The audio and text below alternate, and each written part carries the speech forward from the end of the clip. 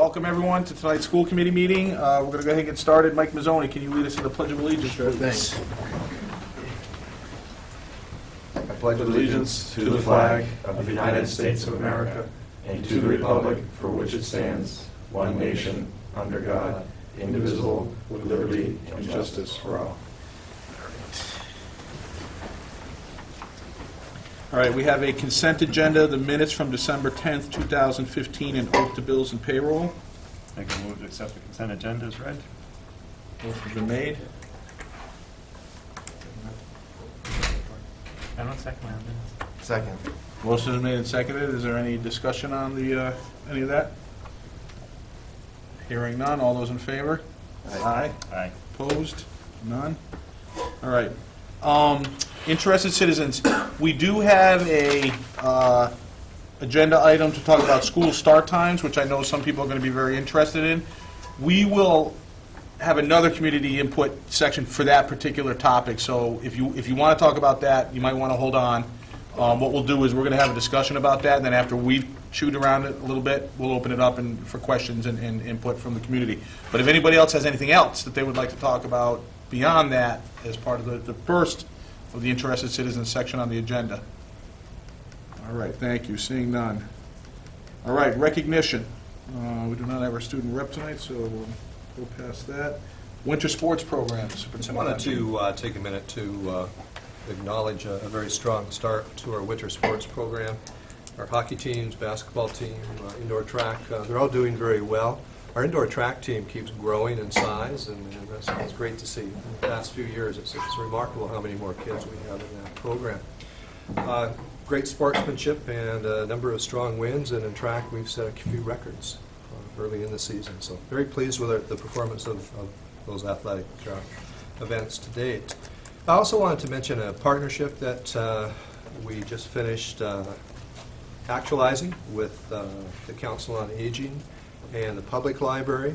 Our uh, high school librarian, uh, Mrs. Hines, uh, offered a genealogy course to uh, our seniors in town, and uh, they had an opportunity to come in and take a look at the program that we use in our library, and we got some great feedback. Another great example of how we're extending our arms out to the broader community and uh, bringing them in our schools and offering some of our expertise uh, to help them out. So I'd like to thank everybody that was involved in, in that project. And that uh, brings me to the end of my recognition. All right.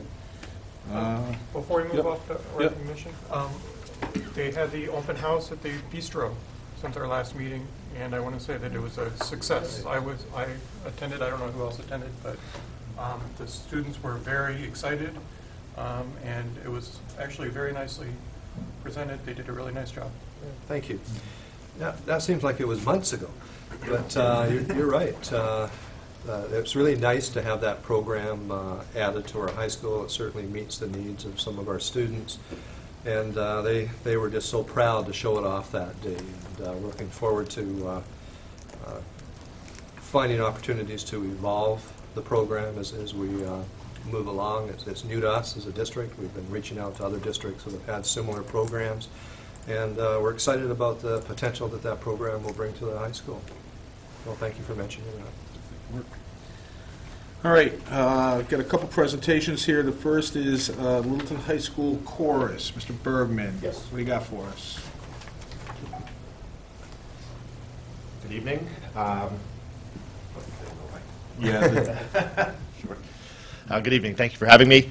Uh, On behalf of the uh, Littleton High School and, and uh, the eighth grade chorus, choral programs, we've had, uh, we've been given the opportunity to uh, drive on down, uh, take a field trip down to uh, the Dunkin' Donuts Center for the uh, Providence Bruins hockey game and uh, perform the uh, Amer- America the Beautiful at, uh, at the start of the game and then, uh, and then have the opportunity to attend the game. So a group of uh, 35 students uh, from both the eighth grade chorus and the high school chorus from this year. Uh, we would be traveling by school bus, going down. It's Friday evening, February 26th.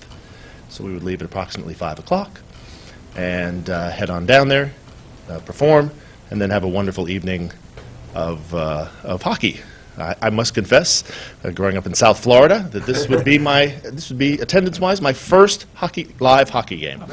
So uh, as much as I love watching Boston on TV, I've never had the opportunity to attend. So I'm looking forward to it just as much as the students are.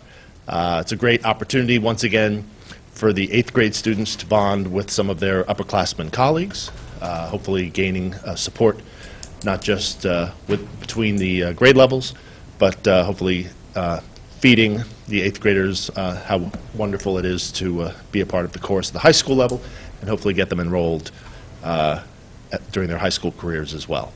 So, uh, being an out-of-state trip, I'm uh, asking the committee's permission to uh, go on this field trip. The, uh, will be funded by the choral programs between the two schools. The funding is already there, and um, it's approximately $20 per student, uh, plus, uh, plus bus, uh, bus cost. And uh, so uh, I'm asking the committee's permission to uh, go on this field trip. So, Are 35 students going, you're going? Yes. Is there any other adult supervision that's going along as well? Absolutely, there will be, there's already, uh, there's already been parent interest in attending the game, so those parents may wind up, act- uh, I will tap those parents first to see if they want to save the gas in their vehicles and join us on the buses. Uh, There are a number of uh, active parents who, uh, whose students are involved in the programs, and uh, I'm confident they'll be able to uh, get the uh, student, cha- uh, the parent chaperones, uh, probably at least three or four should be, uh, should be sufficient to uh, cover uh, this group of students. It's a wonderfully behaved group of students, so I'm not, not too concerned about any sort of behavioral issues. Any other questions before we entertain a motion? No, you caught my questions before I need to ask. What you try to do, that's what a leader does. All right, I will, uh, in in order to order questions, we'll entertain a motion. Make a motion to approve the um, chorus field trip to uh, Providence, Rhode Island on February 26th. Second. Motion made and seconded. Any further discussion on that motion? Hearing none. All those in favor? Aye. Aye. Opposed? Or none? Have a good time. Thank you very much. Appreciate it from the, thank you, committee. All right, we are going to just quickly jump back a couple items. Olivia walked in. Do you have a uh, report for us with you? I Are you ready? I don't want, I know you just sat down. and you- I, I'm good. All right, good. All right. It was taco night at my house. Oh. I appreciate you wrenching yourself free.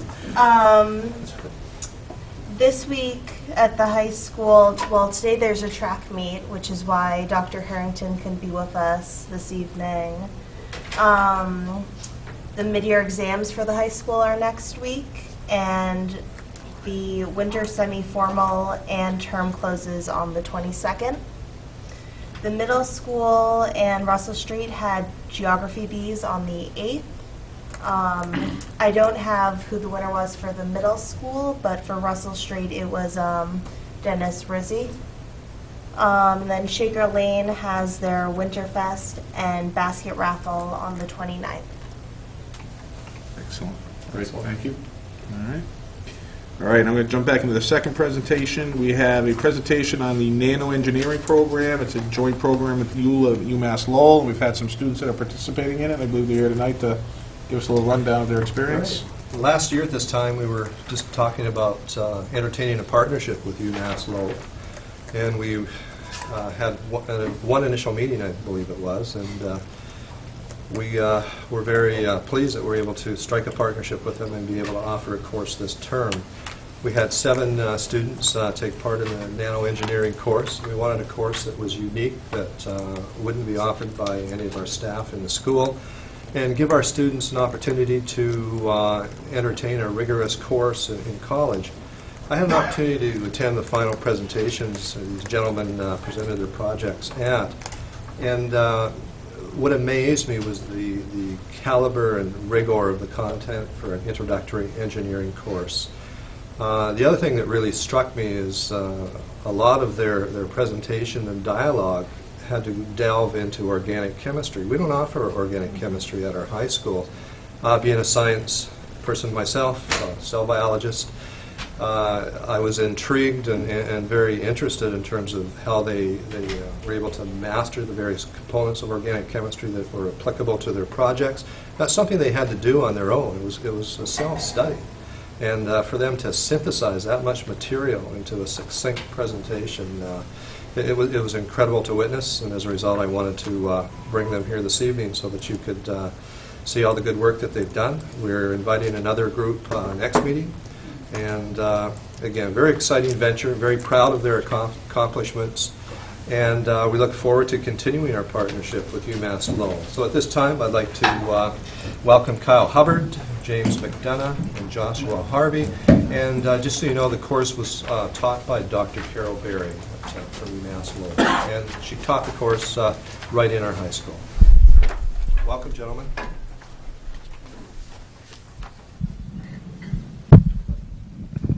Um, Good evening, everyone. Uh, All right, um, Good evening, everyone. Uh, Thank you for having us here tonight. Um, So this past semester, we took a class at UMass Lowell. Um, It was the introduction to um, nanoscale engineering.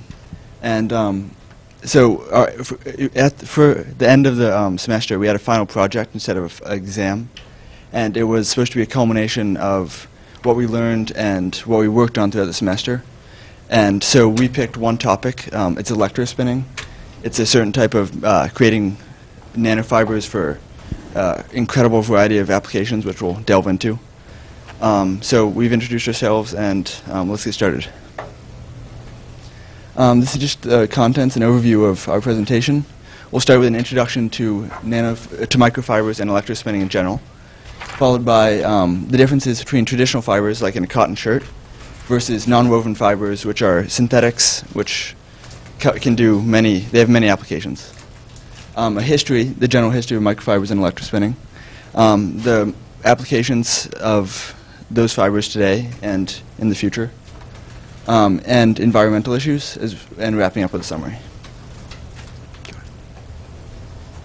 Um, so to start with, uh, this is just an introduction to fibers in general. Um, these are the fibers that uh, listed here, cotton, wool, silk, polyester, or linen. Um, this diagram to the side shows the relative shapes of the different fibers.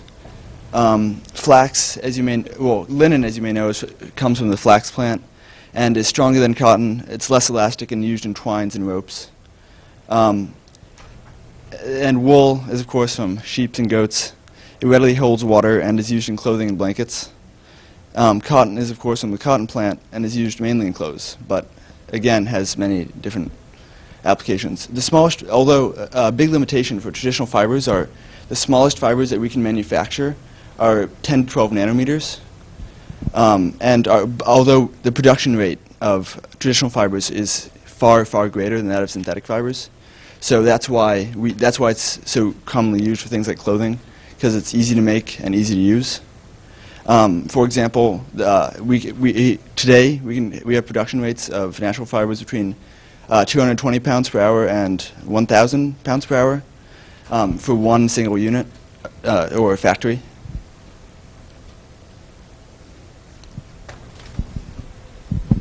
So microfibers are nonwovens, and that means they're synthetically produced, and they are usually uh, 0.9 denier, uh, which is a measurement of thread, and that means they're less than about one micrometer.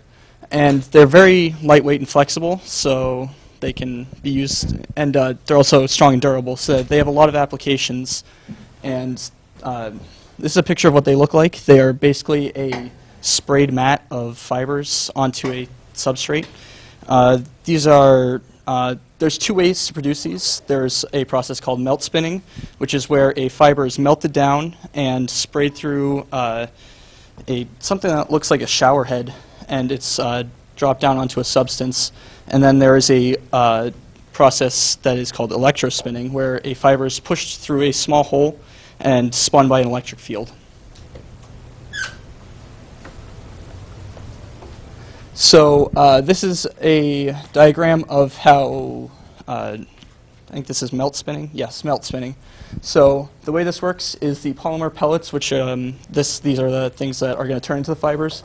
They're put into a hopper. Uh, there's a lot of these uh, pellets to make a longer fiber. Uh, they are then put through a uh, uh, some me- mechanism that heats them and makes them a liquid, and they're pushed through this shower head sort of thing and they drip down onto a substrate while being cooled, so that when they land on the substrate, they are a dense mat of fibers. And then they are Then they are put onto a something called the Godet roll, which uh, basically loops the fiber up and keeps it uh, from tangling.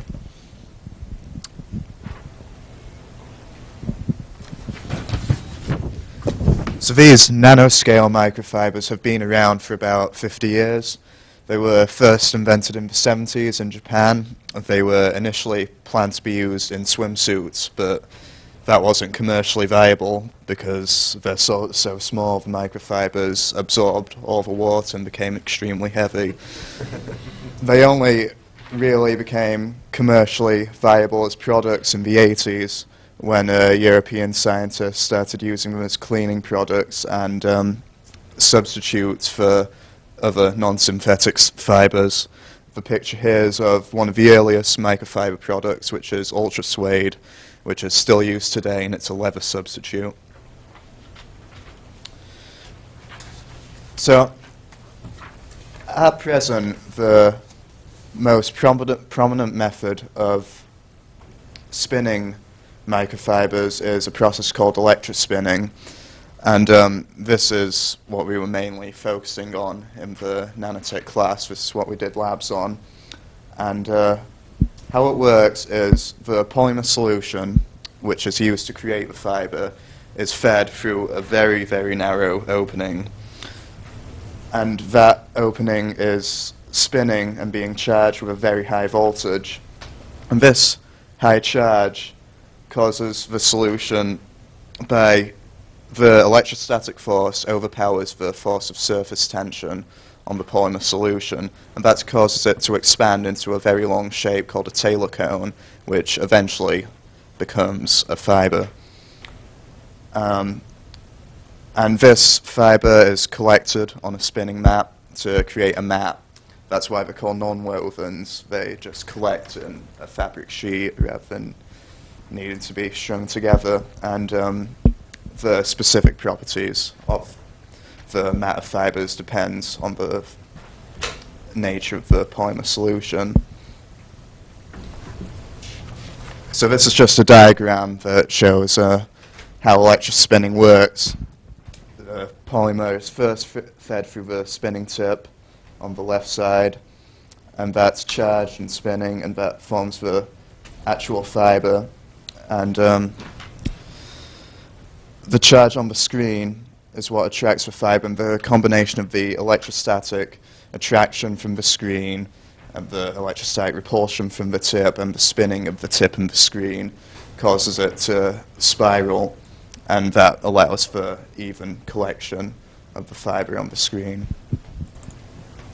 Um, so, a brief history of electrospinning specifically.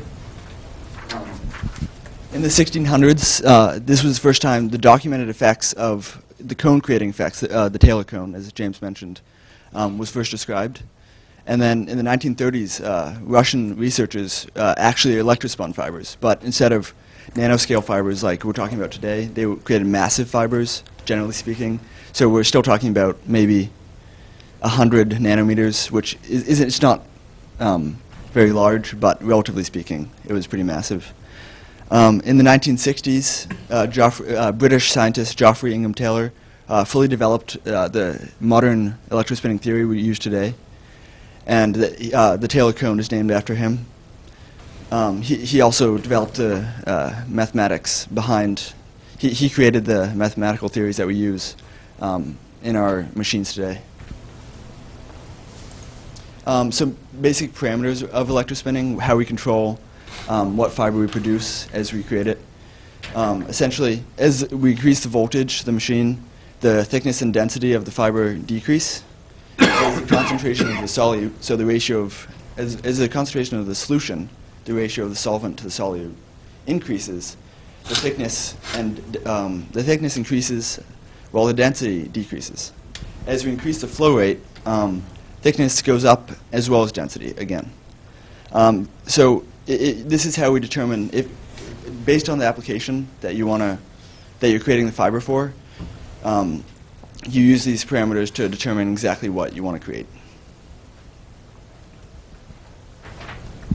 Okay, so as was mentioned earlier, the properties of microfibers depend on the properties of the solution that was used to create the microfiber. And if just one solution is used, that can result in the um, microfiber having a limited range of applications. So a lot of microfibers that, mi- microfibers that are commercially produced are made up of two different polymers, and there are two methods of doing this, which are seen here. The sheath core method has um, two layers of polymer, one on the inside, one on the outside, and the side-by-side method is exactly what it sounds like.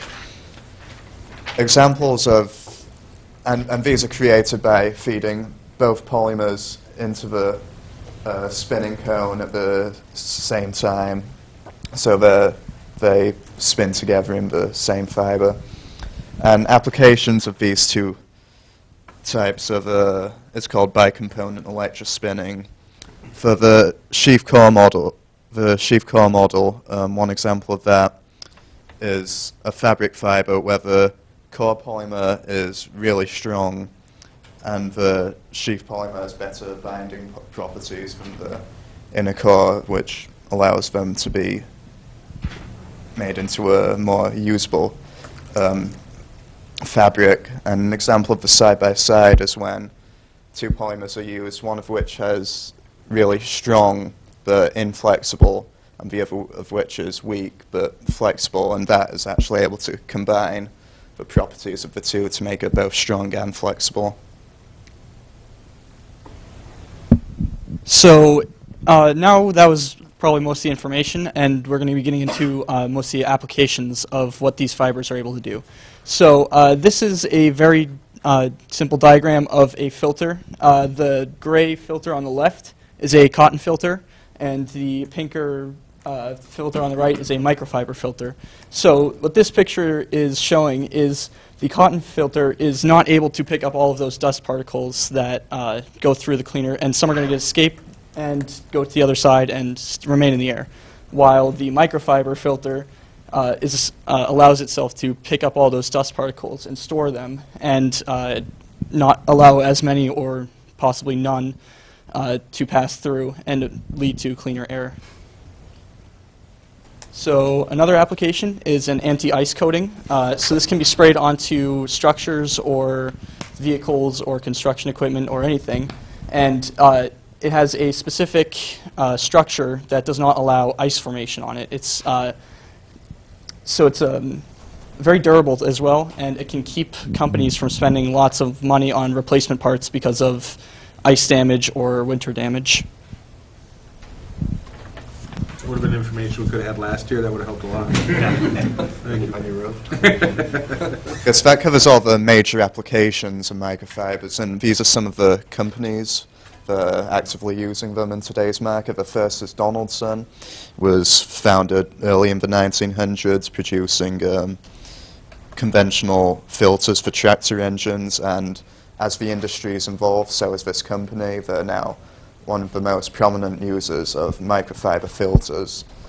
Um, the main, the most prominent product at the moment is called UltraWeb, and that uses a web-like net of microfibers to capture sub-micron dust particles, and they pride themselves on having a longer life with their filters than most of their competitors. Um, eSpin is also one of the largest uh, electrospinning companies in the modern market. Um, essentially, they, they also create electrospun filters, um, generally for um, both air and water filters. Um, a big use is in airplanes, um, and as well as high-performance masks. When you're, for example, when you're uh, coating a car with a new paint, with a new layer of paint, the, all the particles are very small and can be very damaging. And so if your filter, um, if the web in your filter is too large, many of the particles will get through and uh, create permanent damage for the user. Um, and yeah. So Biotronik is a uh, taking a different route on it. They're going to uh, health-based care. So uh, this is a stent, and for those of you who do not know what that is, it basically goes. They uh, insert this metal structure into a defunctional like artery or vein that's clogged by plaque, uh, and is restricting blood, blood flow. And they basically pump it up like this, and they push aside the plaque and open up the channel for the blood to go through so that it can get pumping through the body again. So that's not the application of the nanofibers. It is actually the fact that uh, Biotronik is making a membrane to go around that stent so that it can uh, have healing, uh, it can heal the uh, vein or artery if it was damaged in any way by the uh, plaque buildup. So uh, again, another different route uh, by Fiber Trap. This is a company that makes a trap for bugs and pests, basically. So this is interesting because it's a zero toxin uh, way to get rid of household pests. So this is a picture of a uh, of a trap that they use, a very uh, zoomed in photo, and basically uh, these fibers are uh, going to catch the leg of a bug and keep it there, and it'll eventually like die out and, or starve or something like that. And uh, so this is a this is a bed bug leg, and it's getting caught in the trap, and so um, parents won't have to worry about using toxins around uh, their children or around any anybody actually, and uh, they can have a bug-free and toxin-free house. yes. Um, biosurfaces is another, uh, they're taking a medical route. Um, essentially, these are two pictures of gauze. Um, on, on the left, this is conventional military gauze, which we use today. And um, as you can see, th- this is a uh, picture of clotted blood clotting on uh, military gauze. And it's very uneven, it, and it, it's actually relatively slow. It takes about 2.5 minutes for blood to really start to clot, um, to actually stop blood flow. Um, and over here, this is uh, Biosurfaces electrospun gauze. It's significantly smaller, and as you can see, um, blood clots much uh, more regularly, and so it stops it faster in about one minute. Um, and there, these are, i it's a slow process because it's very hard to make. It's very expensive to make. Um, but more and more of it is being produced today, and more, of, more and more of it is being pushed into the market, especially for our armed forces.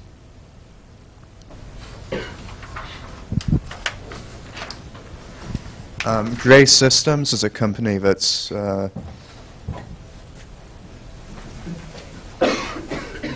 okay. It's currently uh, producing concrete reinforced with microfibers, and microfibers aren't a replacement for structural steel and reinforced concrete uh, because it's so small and weak. But what it can do, which is useful, is prevent uh, act as secondary reinforcement and that makes the concrete less prone to hairline cracks, which are tiny cracks which might not seem like much of a problem, but they, in the long run, they contribute significantly to the deterioration of structures, and over time, when ignored, can cause collapses.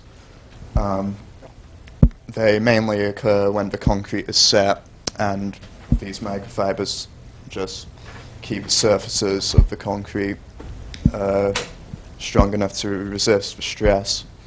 And it's also alkali resistant, which also makes the concrete less uh, susceptible to deterioration. Um, however, there, there are environmental issues associated with electrospinning. Um, the vast, vast majority of uh, commercially produced microfibers right now are oil-based, which means they are both expensive, non-recyclable, and non-renewable. Um, this isn't, and on- once, uh, they, they also can, they're a big cause of pollution, as we'll get into later. But um, there is a solution, it's called uh, polypropylene fibers. Essentially, polypropylene is a thermoplastic, which is very simple, which means that when heated, it becomes mutable. Um, right now, they're still in early stage of testing. They aren't really commercial yet, but hopefully um, they will be um, pushed into the market. And the reason they are recyclable is polypropylene is a very common plastic. All of you use it today. It's the number five recycling number, or plastic. Um, so it is recyclable, but it also has its own problems.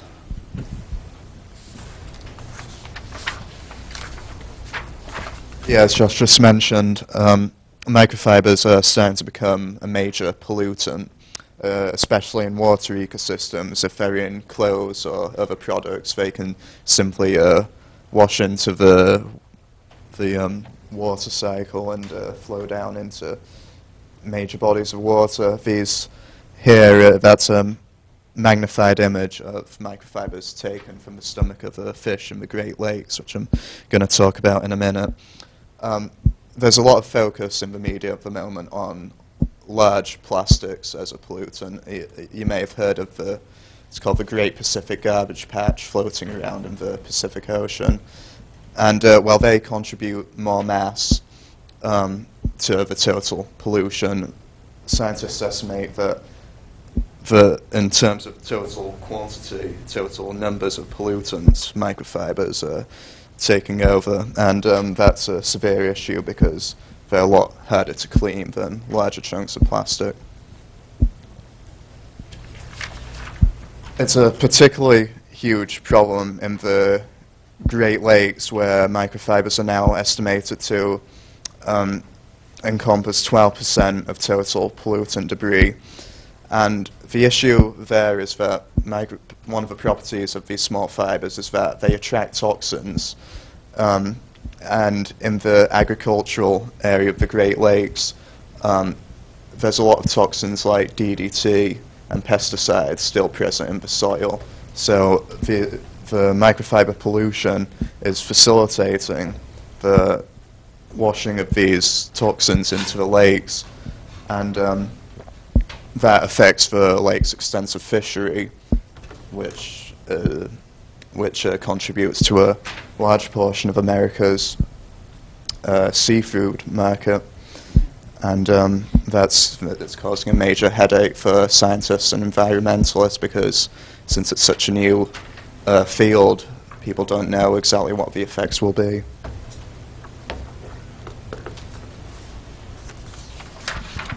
All right, so this is a uh, this is the future. Uh, everyone likes the future. Um, so this is basically an, an idea to uh, have a glove or uh, equipment for the military so that they can climb up walls, kind of like a gecko or like you know uh, Tom Cruise in Mission Impossible. That would be. Spider-Man. Or Spider-Man, yeah. Because who wouldn't want to be that? So uh, the, the way that this works is, well, first they tried to, of course, copy the gecko, because who doesn't copy off people? And so uh, the gecko uses very fine microstructures on their uh, feet. And uh, they have an interaction between the wall and the foot, which is uh, which are van der Waals forces, which are very weak forces uh, singularly, but in a total, it makes a very large force that allows the gecko to cling to the wall. So they were trying to um, make microfi- microfibers that would uh, kind of replicate what the gecko's foot would look like, um, so that they could adhere, uh, adhere to surfaces and climb up walls. Uh, actually, our professor at um, UMass Lowell, Professor Carol Barry. She worked on this project. Um, she said it was uh, it didn't go over too well, and the microfibers weren't really giving them an easy time. So uh, there was a new idea. So, so they kind of gave up on it essentially. Um, but there was a new idea to try injection molding, which is uh, kind of exactly what it sounds, just injecting plastic into a mold to make a structure. Uh, so injection molding, something to replicate the gecko's foot. Uh, I think they're still working on that, but um, as for the microfibers, it's probably not going to happen or not in the near future. Um, Another future uh, for microfibers and especially electrospinning is uh, artificial organs. In the United States, we have one of the highest uh, wait lists for organ transplants, and it's a massive problem. And there are other approaches to it, such as 3D printing. Um, they've been using organic. They, they show the st- uh, stem cell, and they move forward um, to grow whatever tissue the organ is made of. But organs are very complicated, and it's not just a layer of tissue. So it's just a beginning. Um, thi- this is a kidney um, in a, the very early, early, early stage of development. Um, so microfibers, and in this case electro, electrospun microfibers, can be used uh, um, on, top of a scaffold. So you create a scaffold out of um, uh, various materials uh, in the general structure of a kidney, and then you coat it with electrospun fibers, um, organic ones in this case. Um, and a kidney is relatively simple, bladder even more so, and they have they, they are in their stages of testing for these products. Um, and actually, they have lab-grown kidneys have been transplanted successfully into rats, and testing continues. This is another example of microfibers being used in the medical field. This is a uh, artificial, fully functional trachea developed in Stockholm in Sweden, and it was created using a microfiber scaffold, and um, it was modeled on a patient's trachea, and the um, it was coated with the patient's stem cells in order for when it was put back in, it wouldn't be rejected by the patient's immune system. And this was actually successfully implanted into a, it, it replaced the trachea of a patient suffering tracheal cancer. Um, a very successful operation. So, in conclusion, uh, these nanofibers, they're nonwovens. Uh, they have lots of applications, and uh, they are they're made by uh, basically shooting them down through a shower head or a thin uh, opening, and uh, put onto a structure to have a specific purpose. They're becoming very widespread in the modern world. You probably use some every day yourselves, and they're also being extensively used by the military. Um, but as great as these fibers are, we cannot overlook the environmental impacts of the fibers. Um, it is imperative that we continue to research. We don't know much about the impacts right now. It is imperative that we continue to research and understand how the uh, fibers affect the environment as well as us, humans. And so as you move forward into this field, we need to be conscious of the impact. Thank you. Thank you. Thank you.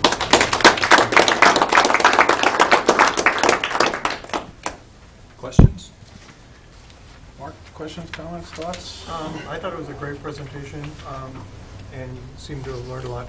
Um, Do you know why the Great Lakes has more of a problem than other bodies of water? Um, that's one of the many mysteries of what's going on at the moment. Yeah, it's, Um, they, they do have a theory that it's due to um, the higher rates of manufacturing. There, there's a lot, uh, large manufacturing areas around the Great Lakes, and a lot of the waste inev- inevitably ends up in the lakes. That's one of the theories. My other question for you is, uh, wh- did you guys get to experiment with making the fibers in your class, or uh, other, what did you do with the fibers in the class outside of the presentation? um, yes, we did. We uh, uh, we actually used an electric spinning machine that had been built by the um, teaching staff at UMass Lowell, and we uh, experimented with different types of polymers and different flow rates and sort of uh, different properties of the fabrics we created. Thank you. So I was ticking off my little questions as I was going through, and you answered them all. So let me start with excellent presentation. I mean, you're well-prepared, well-spoken, and well-organized on, on what you put together here. Really impressed with it. And I don't have any questions. You did do a good job, because Daryl always has questions. They're all, they're all scratched off now. Ruined my fun. Mike? The, I thought this was incredible. It sort of blew my mind. Um, and I know that all three of you are students, but I could totally. It was almost like I was watching a documentary by people who work for all these different companies. So I was very, very impressed with um, how much you guys apparently. Did you guys all know a lot about nanofibers before you started this course? Uh, not really, honestly. We, we learned a lot. I'm not trying to, I'm not trying to be patronizing. To learn that much material from start to finish, so the basics behind, or the logic behind them, how they're made, all the way through their practical purposes, the environmental harm. I mean, that to me seems like it could be a curriculum, learning all of that stuff. So I'm, I'm really impressed. Um, what did you guys think of the course? Was it worth, like, was it worthwhile? Do you feel like you got a lot out of it? Yeah, I, th- I thought it was pretty interesting. There was a lot of information in the course. Uh, thankfully, it didn't have to be memorized, but you know that's the way it is. Open But, book uh, project? Yeah, um, but I thought it was interesting. It covered a lot of topics that I didn't really um, know a lot about or understand much. Yeah. Uh, I'm sure these guys felt the same way, but yeah, I, I thought it was really interesting. Yeah, I think one of the major benefits of it was that it was a very good uh, preparation um, that taught us what to expect in a college class. That was Um, my next question. Was you- yeah. Do you feel like you're more prepared now? Yeah, there were lectures, there were lab assignments. It felt like you really got a good college academic experience. Well, you did, technically. Yeah, well, yeah. Yeah, no, the course was it, it's bro- since it's uh, we can't go there every day. It's a in this case a Tuesday and Thursday class. Um, at Tuesdays we'd spend the, uh, a lecturer would come out to Littleton and we'd have about uh, an hour in class. And on Thursday, most Thursdays we'd actually go out to UMass Lowell and do labs. Um, I think it was, as they said, it, it was a great uh, preparatory experience, and we definitely learned a lot. It covered a large quantity of subjects, and we, we didn't go in depth, uh, i- i- in, a, in as much depth as uh, to all the different subjects as we did to electrospinning, but um, we still ha- had a large berth of subjects to open to us during the course. I don't have any more questions, but I hope you all um, appreciate the fact that this is so groundbreaking that the U of Littleton High School students are taking a course in nanotechnology using an electro spinning machine. I wouldn't even know one if I tripped over one, so the fact that you guys got that experience is pretty, pretty incredible. Alex? I too have no questions, but I do want to say that this was certainly uh, a great presentation for me. I really enjoyed it. I learned a lot. I probably learned, uh, if you started in September and learned everything you have up to this point in this class, um, that's a whole lot of knowledge. Taking it all in just from the last 20 minutes or so, so great job. Um, I do uh, want to echo Daryl and Mike's comments about uh, being prepared for college, um, or actually having taken a co- a college class now. Do you all know yet at this point, generally speaking, if you want to go into a STEM field or something else, or are you still trying to figure it out? I think, yeah, most of us are planning on going into STEM fields. Pretty set on that. Engineering, all good? Most likely. Yeah, I think so. Well, you have plenty of time to figure it out. But I'm That's true. surprised that uh, Mike didn't pitch you guys on UMass Lowell. I was going to, but I felt like I talked about it too much. Uh, But the pretty incredible facility there, huh, that you got to go to? Yeah. Brand new, so. Here we go. Yeah. Good man. And it, it is great that we've been able to explore this partnership. I, I don't hear of any other school. I'm sure there might be one or two school districts doing this in Massachusetts, but I haven't heard of them. So this is Pretty new. this is pretty cutting edge, uh, both in terms of the material and in terms of the partnership. So thank you for all this information. How does it feel to be finished your first university course? It's pretty Pretty good. good. I bet. We spent a lot of time uh, talking and and uh, networking about what do we need our students to have to be successful as they continue on with their their uh, education. And, you know, research is very clear that giving our students some sort of experience or some kind of experience that links high school to college before they actually hit college full-time is a, a very powerful indicator of, of their success as they go on to post-secondary education. I had an opportunity to talk to uh, Dr. Barry uh, uh, about a number of uh, uh, academic components and, and uh, a number of questions that focused around academic preparation. And uh, how did our students compare to students that finished high school and uh, were taking the course on campus? And she uh, really didn't even pause before she started telling us how pleased she was with, with the preparation of our students. Uh, their ability to uh, learn information that uh, hadn't been taught to them before in terms of prerequisite information or foundational information. They were able to grasp it, synthesize it, put it together quite quickly. And uh, when it came to the presentation component, uh, in a course like this, it's a project-based course, so the professor uh, has many presentations to, to look at prior to the end of that course. And she felt that, that our students stood out in a very positive way. They were confident, well-prepared, articulate, and uh, really were passionate about what they were talking about. So I wanted to share that feedback with you. Uh, for, for me as a superintendent, it was an incredible experience to witness some of our high school students taking a, a course of that caliber. Uh, it's not an easy course. It's, it's a very difficult course. Uh, it's an introductory introduction to nanoengineering, but uh, that's a high-level course to begin with, uh, to begin a venture with with the university. So I'm very proud of you guys, and thank you so much for coming out this evening and sharing your project with us. Best wishes as you uh, continue your uh, academic careers. Can I ask one more follow-up question? Do you have a second? So, well, first of all, I, yeah, Ke- Kelly, the superintendent, talked, makes up a good point, which is that, like, early college design is important, and all of our colleges are sort of getting on board with that. But what you guys did was not like an English, like college English class or college math class. You took a nano engineering class, or nanotechnology, microfiber, I don't even know the specific title of it, um, which is pretty impressive. But now, have any of you taken like an AP course too, or are you taking an AP course right now? Yeah, we're all taking AP courses. And so, in theory, you could now start as a freshman when you actually go into college with probably almost a whole semester's worth of credits under your belt, which is pretty huge because that opens up so many more opportunities. If you, you're not rushing to take 15 credits every semester to graduate on time, you have more flexibility, so um, that's a pretty great thing. Gentlemen, thank you.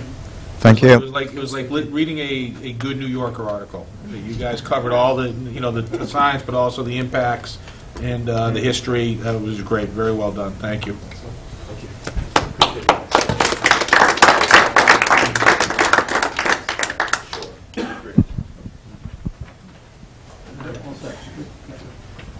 So, we're a little bit ahead of schedule, which is good, but given that we are ahead of schedule, I do want to jump around a little bit so that uh, when we have the discussion about school start times, I make sure anybody that's interested, uh, who's not here yet, can try to get here.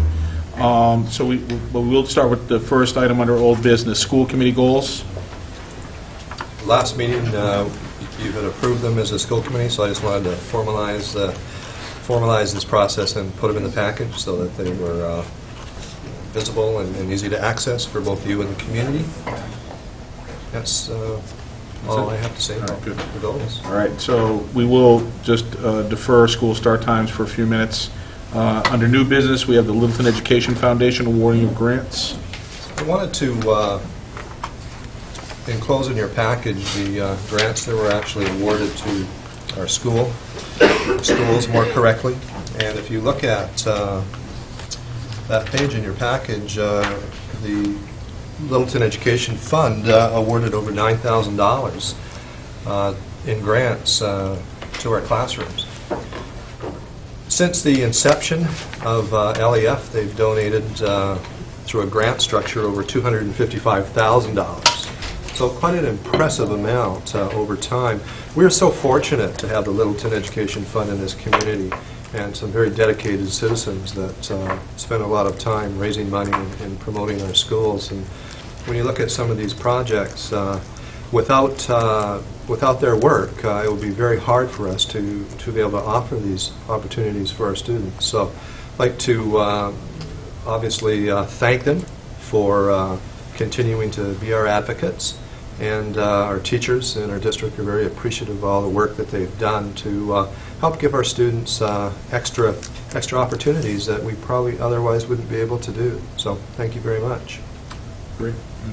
Any Thoughts or comments on that? Um, yeah, just a, one question. Are, uh, several of them I can see are like equipment and other things there, and looks like, uh, some sessions with some people. Is, is there any other ones that are, uh, sort of direct classroom, uh, activities or things that were used in the supplemental curriculum? Well, the, the application process goes directly to the board, and they review the projects, and there's some criteria that they look at. They want to make sure that, that uh, it impacts as, as many students as possible, and they also want it to uh, enrich the curriculum, not be part of the curriculum, and, and I think we've talked, we have talked about that a number of times. We have a fiduciary responsibility to provide the basics for education. And uh, a, a fund like this uh, is, is out there to provide opportunities that go beyond tho- those uh, foundational needs that, that uh, schools have and, and, and should exercise. So they're very good about that, and, and uh, we always have more applications than uh, funding that's available, and they, they take their time going through all of the projects and, and the requests, and uh, and I commend our teachers because the, the application form isn't just, uh, I'd like to use this money for this. They have to go through a process and and justify how it's going to impact student learning and what are going to be, what what are the long-term benefits going to be of providing this type of programming or, or uh, item to our students. So uh, it's, it's, it's a great, uh, well-run organization, and, and uh, as a superintendent, I'm just so thankful that uh, they're there to help us. Where I was going with that is, is is I was wondering if it'd be appropriate at some point if we could get maybe a short presentation from one of the classrooms that was a recipient course. of one of these things on how the external funding supplemented their, their direct education program. Sure.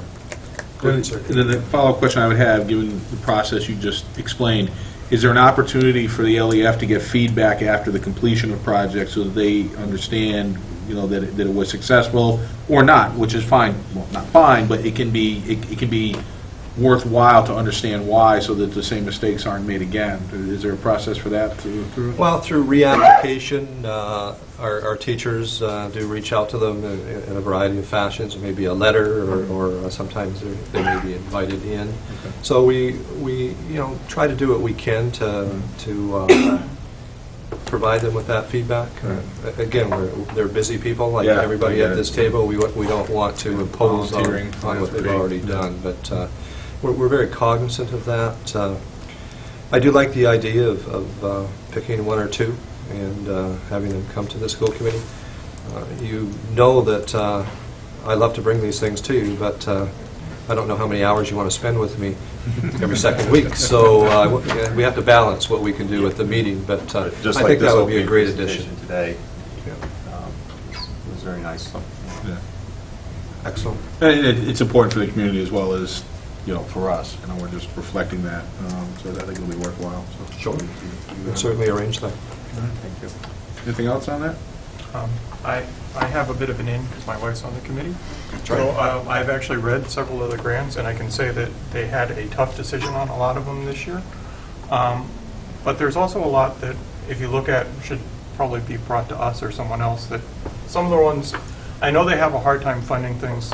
They want to fund enrichment activities, and there's things that are on the border on some of these things, right? And that's where they get, um, that's where they struggle the most on whether it's enrichment or not, or whether it's things that the schools themselves should be providing, right? And it would be actually worthwhile to look at some of the rejected grants to figure out, you know, if they should be funded through some, if there's another means of getting funding. We already have a process in place for that, and uh, I take a look at the projects that are funded and and uh, weigh in on them, and then have a discussion with the leadership team and- and, uh, and and some of the staff that have submitted them.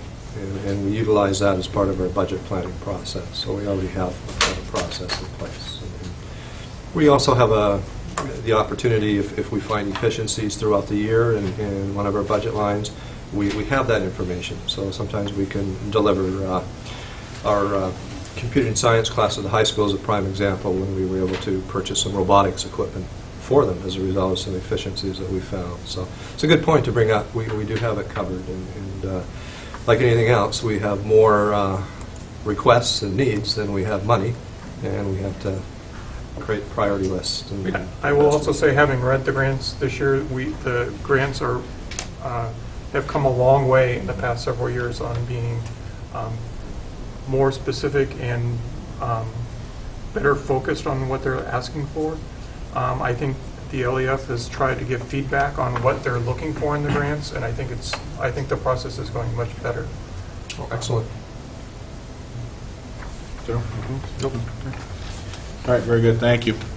Um, Alex, cost center presentation, what's that, 15, 10, 15 minutes? I can make it 10. That- That's fine, I just want to, we're, just want to see how my time is going to work out, but let's go ahead and do that. Make it 10. See, that, that's funny, because I was talking with uh, Steve about this earlier today, and I said it's going to take five minutes, so, Well, then make it. which you'll all be surprised about me talking for only five minutes. So, Hey, you're following a tough act, those guys are pretty good. yeah, they Don't- were, Don't so feel like I'm, you have any pressure. I'm going to try to be on and off as quickly as possible. Just click to advance to the next one. If you can make this sound like a New Yorker article, you're going to do pretty good. It might sound more like BuzzFeed, but we'll all be happy to this. Is this a listicle? Let's just get started. I can see you're already running the clock. So this is part of our efforts to uh, go more in-depth in public about what our budget is um, and share more about our cost centers. We have eight cost centers. These, uh, we had a presentation, uh, I believe it was last month, on uh, two of our cost centers. These are two more, uh, system administration and school administration. Uh, It's pretty straightforward work. Um, For system administration, we have central office, admins and staff, uh, curriculum development, fingerprinting, legal, travel, school committee cost. It's a relatively small cost center. Um, And again, as I said, it's pretty straightforward. Under central office, admins and staff, this is where the bulk of the uh, spending is under this cost center. You'll see the superintendent's office, uh, which includes salaries and supplies, um, business office, system technology, and other central office staff. Now, one thing I want to emphasize, because I am going to run the clock a little bit for you, is that given the size of the school district and the amount of stuff that we do and try to do and plan for, we are remarkably efficient at the central office level. Particularly with a smaller district, you'll usually find that central office tends to naturally have to be either a little bigger because there aren't enough bodies in the district to take care of everything, or that it's going to be tight and you're going to have one person doing several jobs. And I think each person we have in central office and throughout the district as a whole really stretches themselves, and I think we've done a really good job as we've seen more mandates coming down with the EdEval, um, realigning our curriculum a couple years ago. There's so much going on, and I think we make really good use of the limited amount of funding we have. Um, and I think that's part of the effort to shift funds as much as possible to the education, because central office is only as good as uh, teachers in the classroom can be.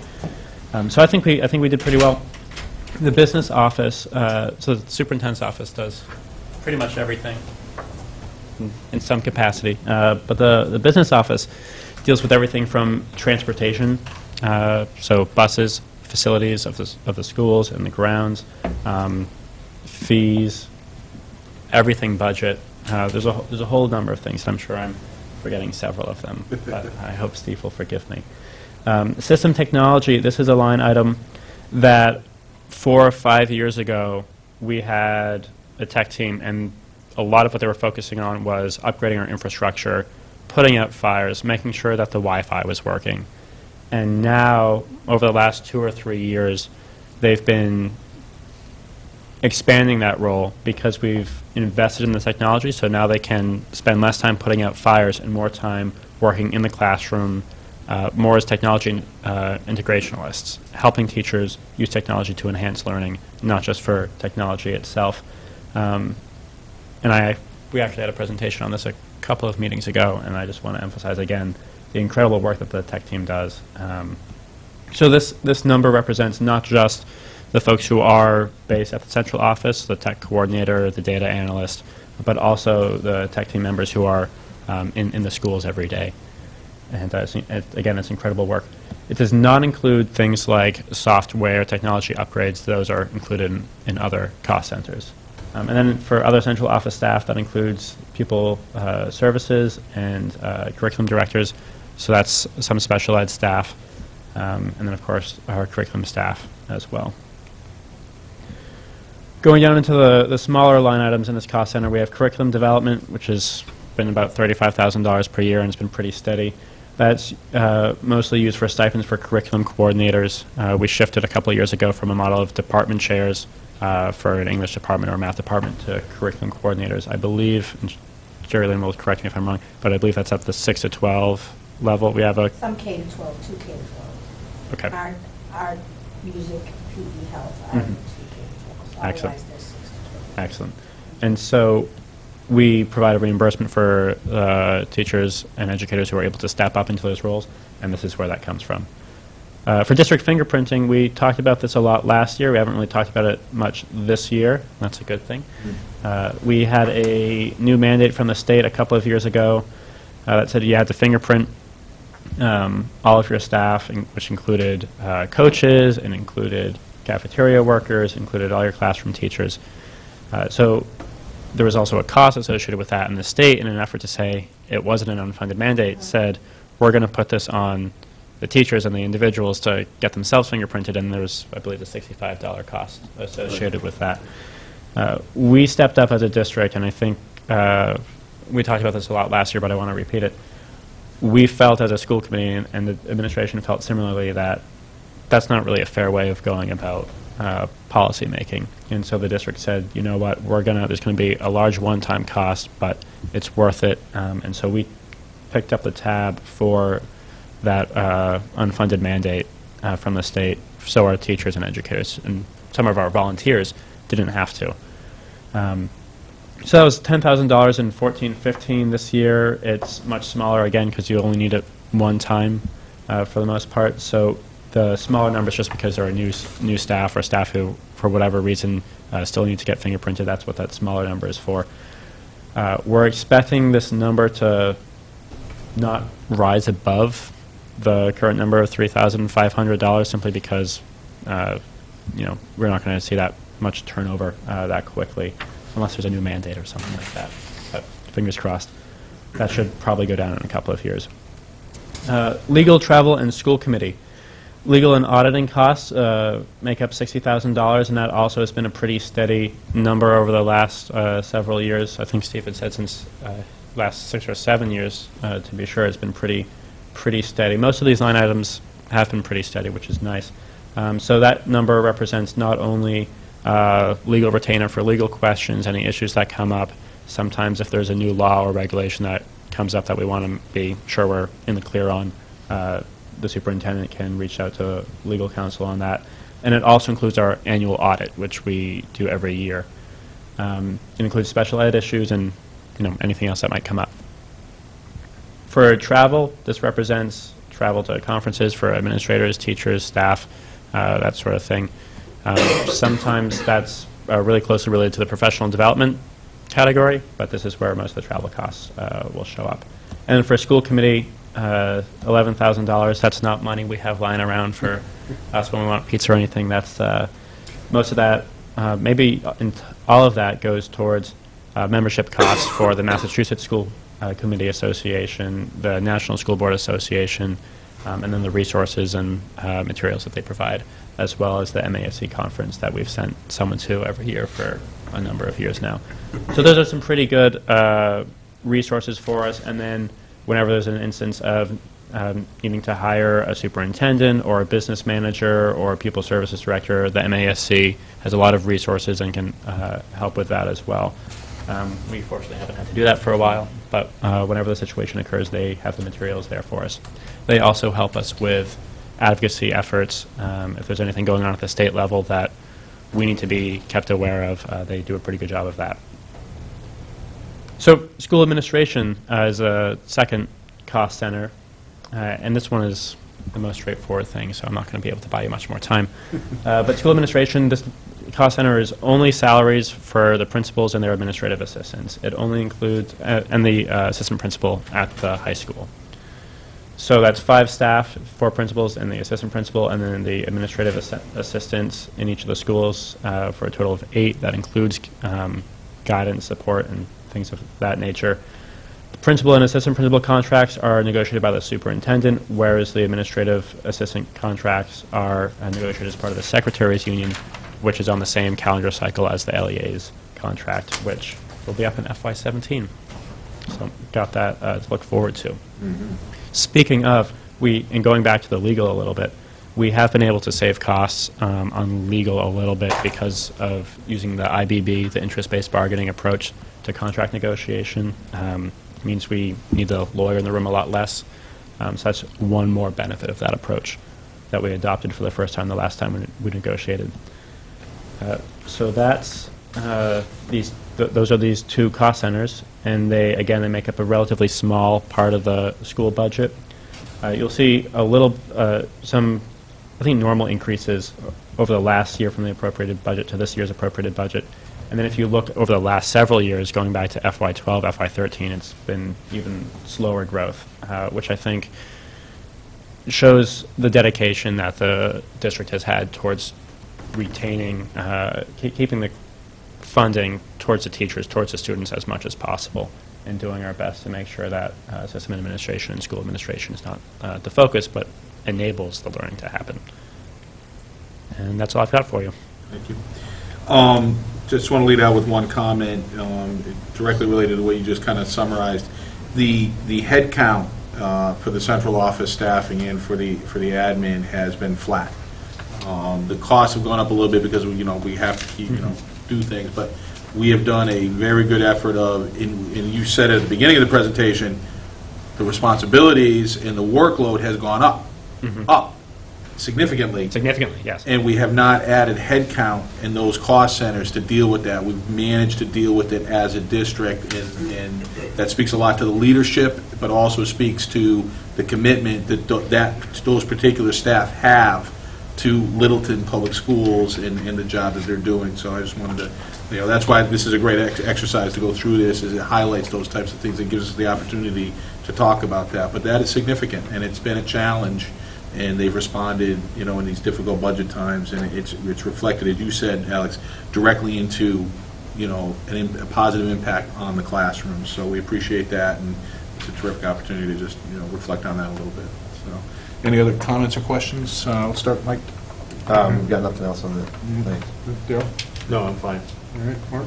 Um, I think it's a great presentation. What would be nice to add is what the relative, um, you s- said that the central office and the numbers are low um, percentage-wise, but you don't actually, what are the percentage?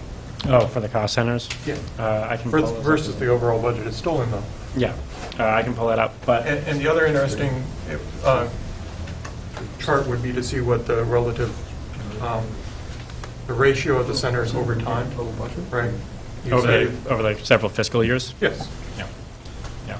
Um, You will see, if you go back, I believe it was last meeting, we had our last uh, financial update. That will show previous year's spending, uh, both appropriated and expended, and then the current year's appropriated versus the expended versus how far we'd expended last year.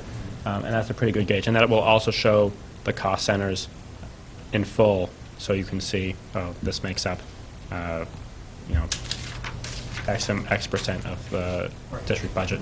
We do have the district budget, um, when we have all grants and everything in, um, just under 20, 20 million, I think is a good number that we've used. Um, Depends how, you- how you count it. Uh, so if you see one, 1.1 million for system administration and seven, uh, 700,000. Less than on state- 5%. Yeah, less than 5%. Thank you. Um, Less than 5% of the school budget, the district budget is spent on school administration and system administration. So I think we do pretty well.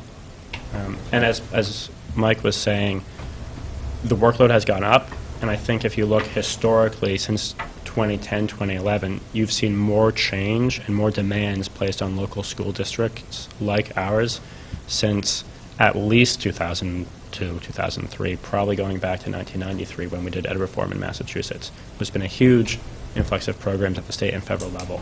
Um, We've had those conversations before, but it's important to reflect again. We're doing so much more uh, with the same amount of money. So- Uh, It's an interesting comment, Mark, I've never crunched it like that, but um, wh- what is the ratio and how has it trended over time? My guess is, uh, based on the years I've been involved with the budget, that it's trending, the ratio is trending downward. We're spending less as a, as a ratio of overall spending, but I would be interested to quantify it. But with the caveat that Alex just raised, even though the, the money you can do year by year would be more difficult to quantify the amount of we, benefit we get out of it and wh- what's getting done, but it would still be pretty interesting. Maybe we'll try to do that at some point. Um, that would be somewhat edifying to see. And that's not to say that because of these new programs and mandates that we haven't been spending more money on them. I think we'll see that more in professional development, for example, Right. um, or technology where we have to upgrade now to Right. get ready for That's a good computer-based test and things like that. So we're still investing and responding to those programs, and they are still costing us money that we're not getting from other sources. So we have to figure out a way to make that work. And this is one of the many ways that I think But if we're doing increased that. headcount, we, w- it would be even more difficult to Absolutely. get that funding into those other cost centers and have that direct benefit, or more direct benefit anyway, on the classrooms than it would would otherwise be able to do. Yeah, there would be a cost on the other cost centers like regular and special education and things like that. I've got, I've got a follow, uh, and this might not be for Alex, maybe anybody, Budget and Kelly or uh, Steve. Um, Well, five percent of the total budget, how does it, do you have any sense of how that compares to like similar sized districts or similarly positioned districts? Is that pretty standard? It's, it's, it's pretty, I mean, it- it's, it's, we're fairly close. I mean, You have to remember, we're, we're under the per student cost average. uh, Right. And if I calculated that out, it'd be close to $2 million that we're under. uh, as a district. Right, So- that's actually part of, that's the genesis of my question, is that from savings in areas like this or elsewhere? Well, all over, and- all and, over, you know, one thing that, that this picture doesn't show, and it can't show, because if, if you're not in the operational aspect of the school district, you, you, you- you, we, we talk about these things, but we don't expect you to remember them. Uh, Through the past number of years, we, we've absorbed tasks that were done in schools because we had to cut funding. Uh, An example of that would be special education chairs. Uh, We took that responsibility on in- in central office and didn't uh, create more staff. We we absorbed that, and it was a considerable amount of work to do so. Uh, We absorbed uh, ELL in terms of the administrative structure that used to be farmed out to to staff, but our ELL, English uh, language learner population has increased, and we didn't have the money to bring somebody in to service students in that area, so we took over the administrative tasks without hiring somebody. Uh, Out-of-district uh, coordinator is another area where we have somebody working with us, uh, but that uh, as our population demographics change, the number of places that our students go out of district has increased dramatically because we have to find programs that, that have that critical mass for students that need those accommodations uh, to uh, be successful. Those are just a few things. Right.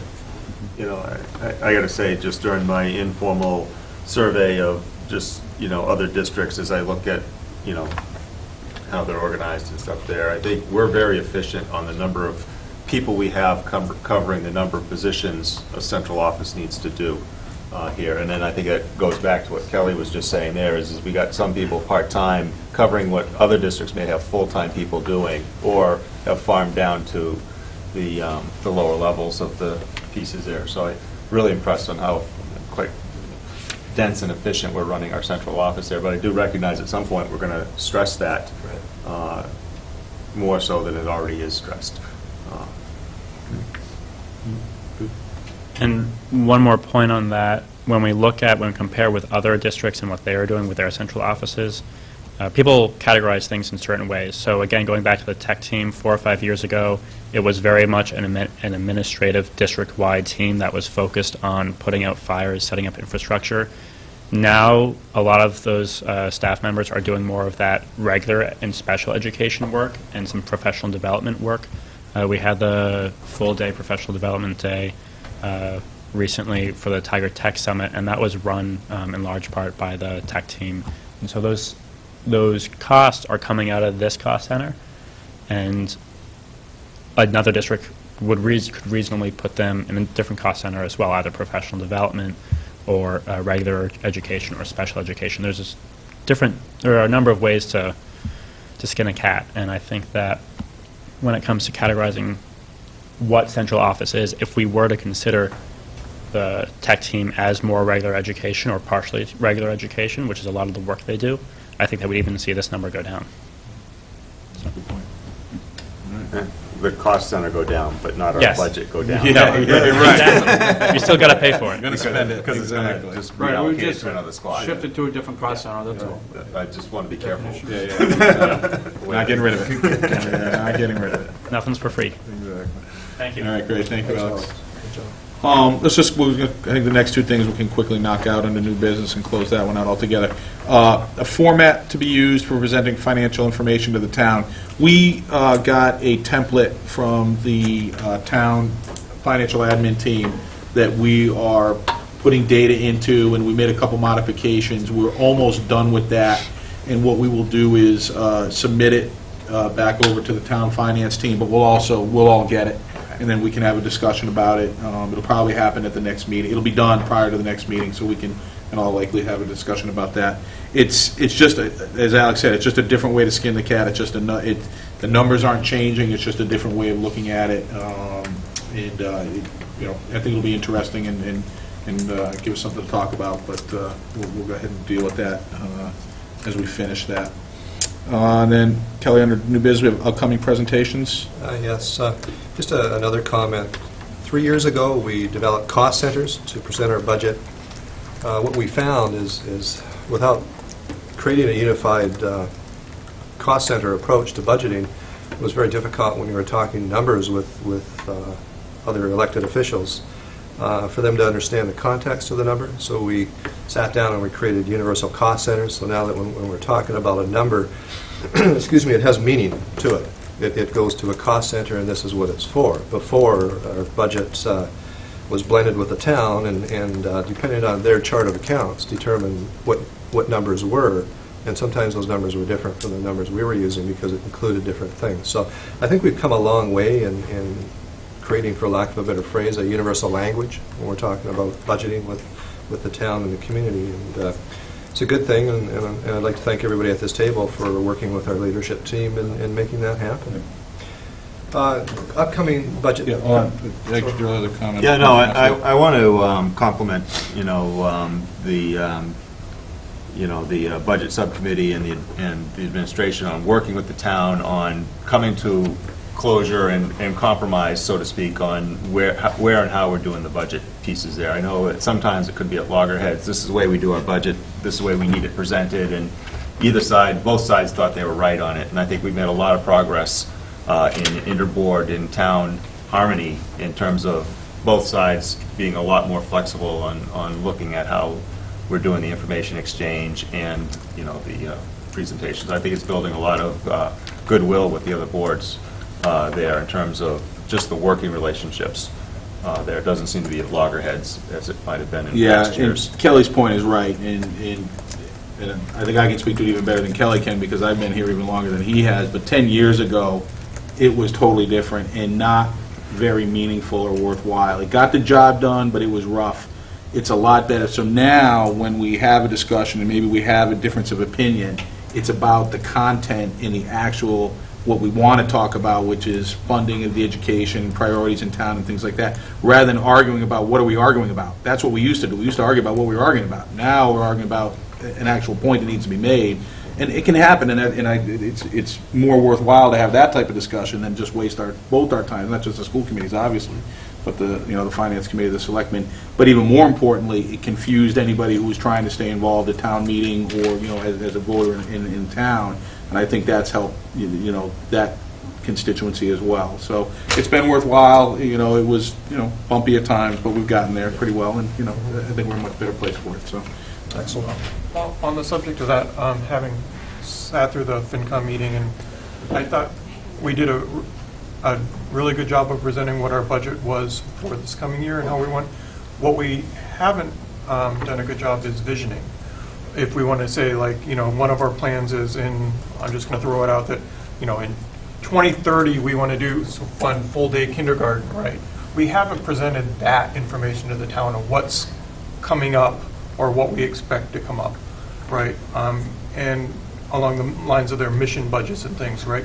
We need to do a better job of getting in front of them saying, you know, not for this year, but for next year or five years down the road, this is what we would like to do, or this is what we foresee needing funds for, right?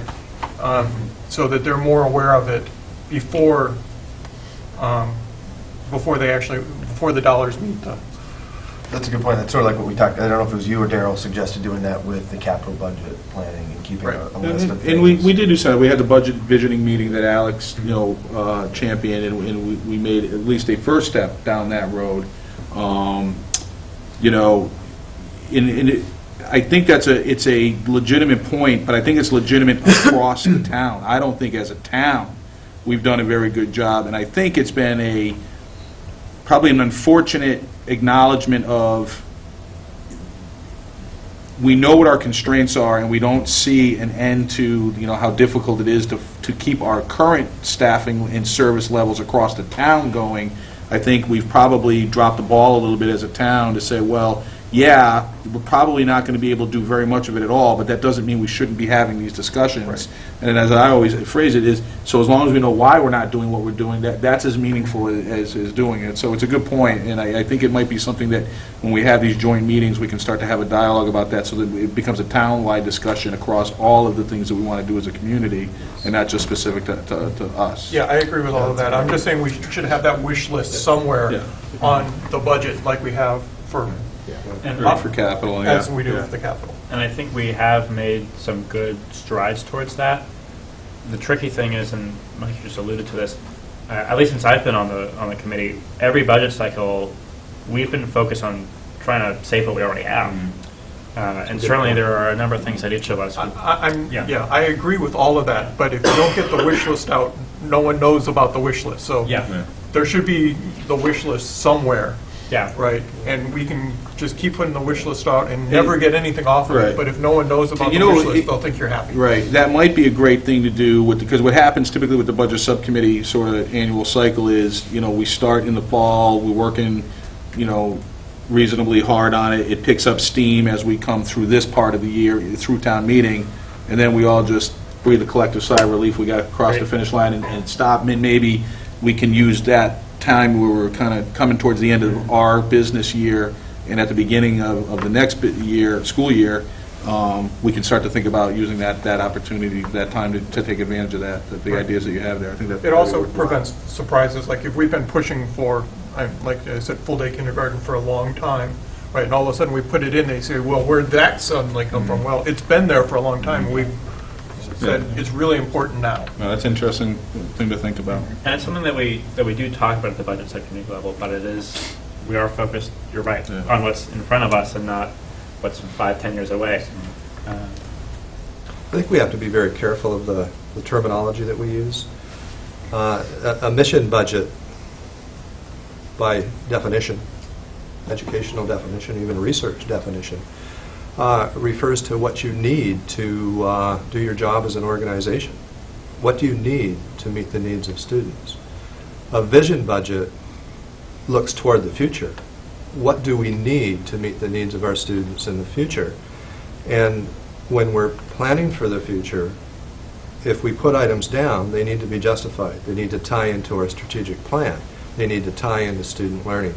So I, I think we need to be very careful of the terminology that, that we use.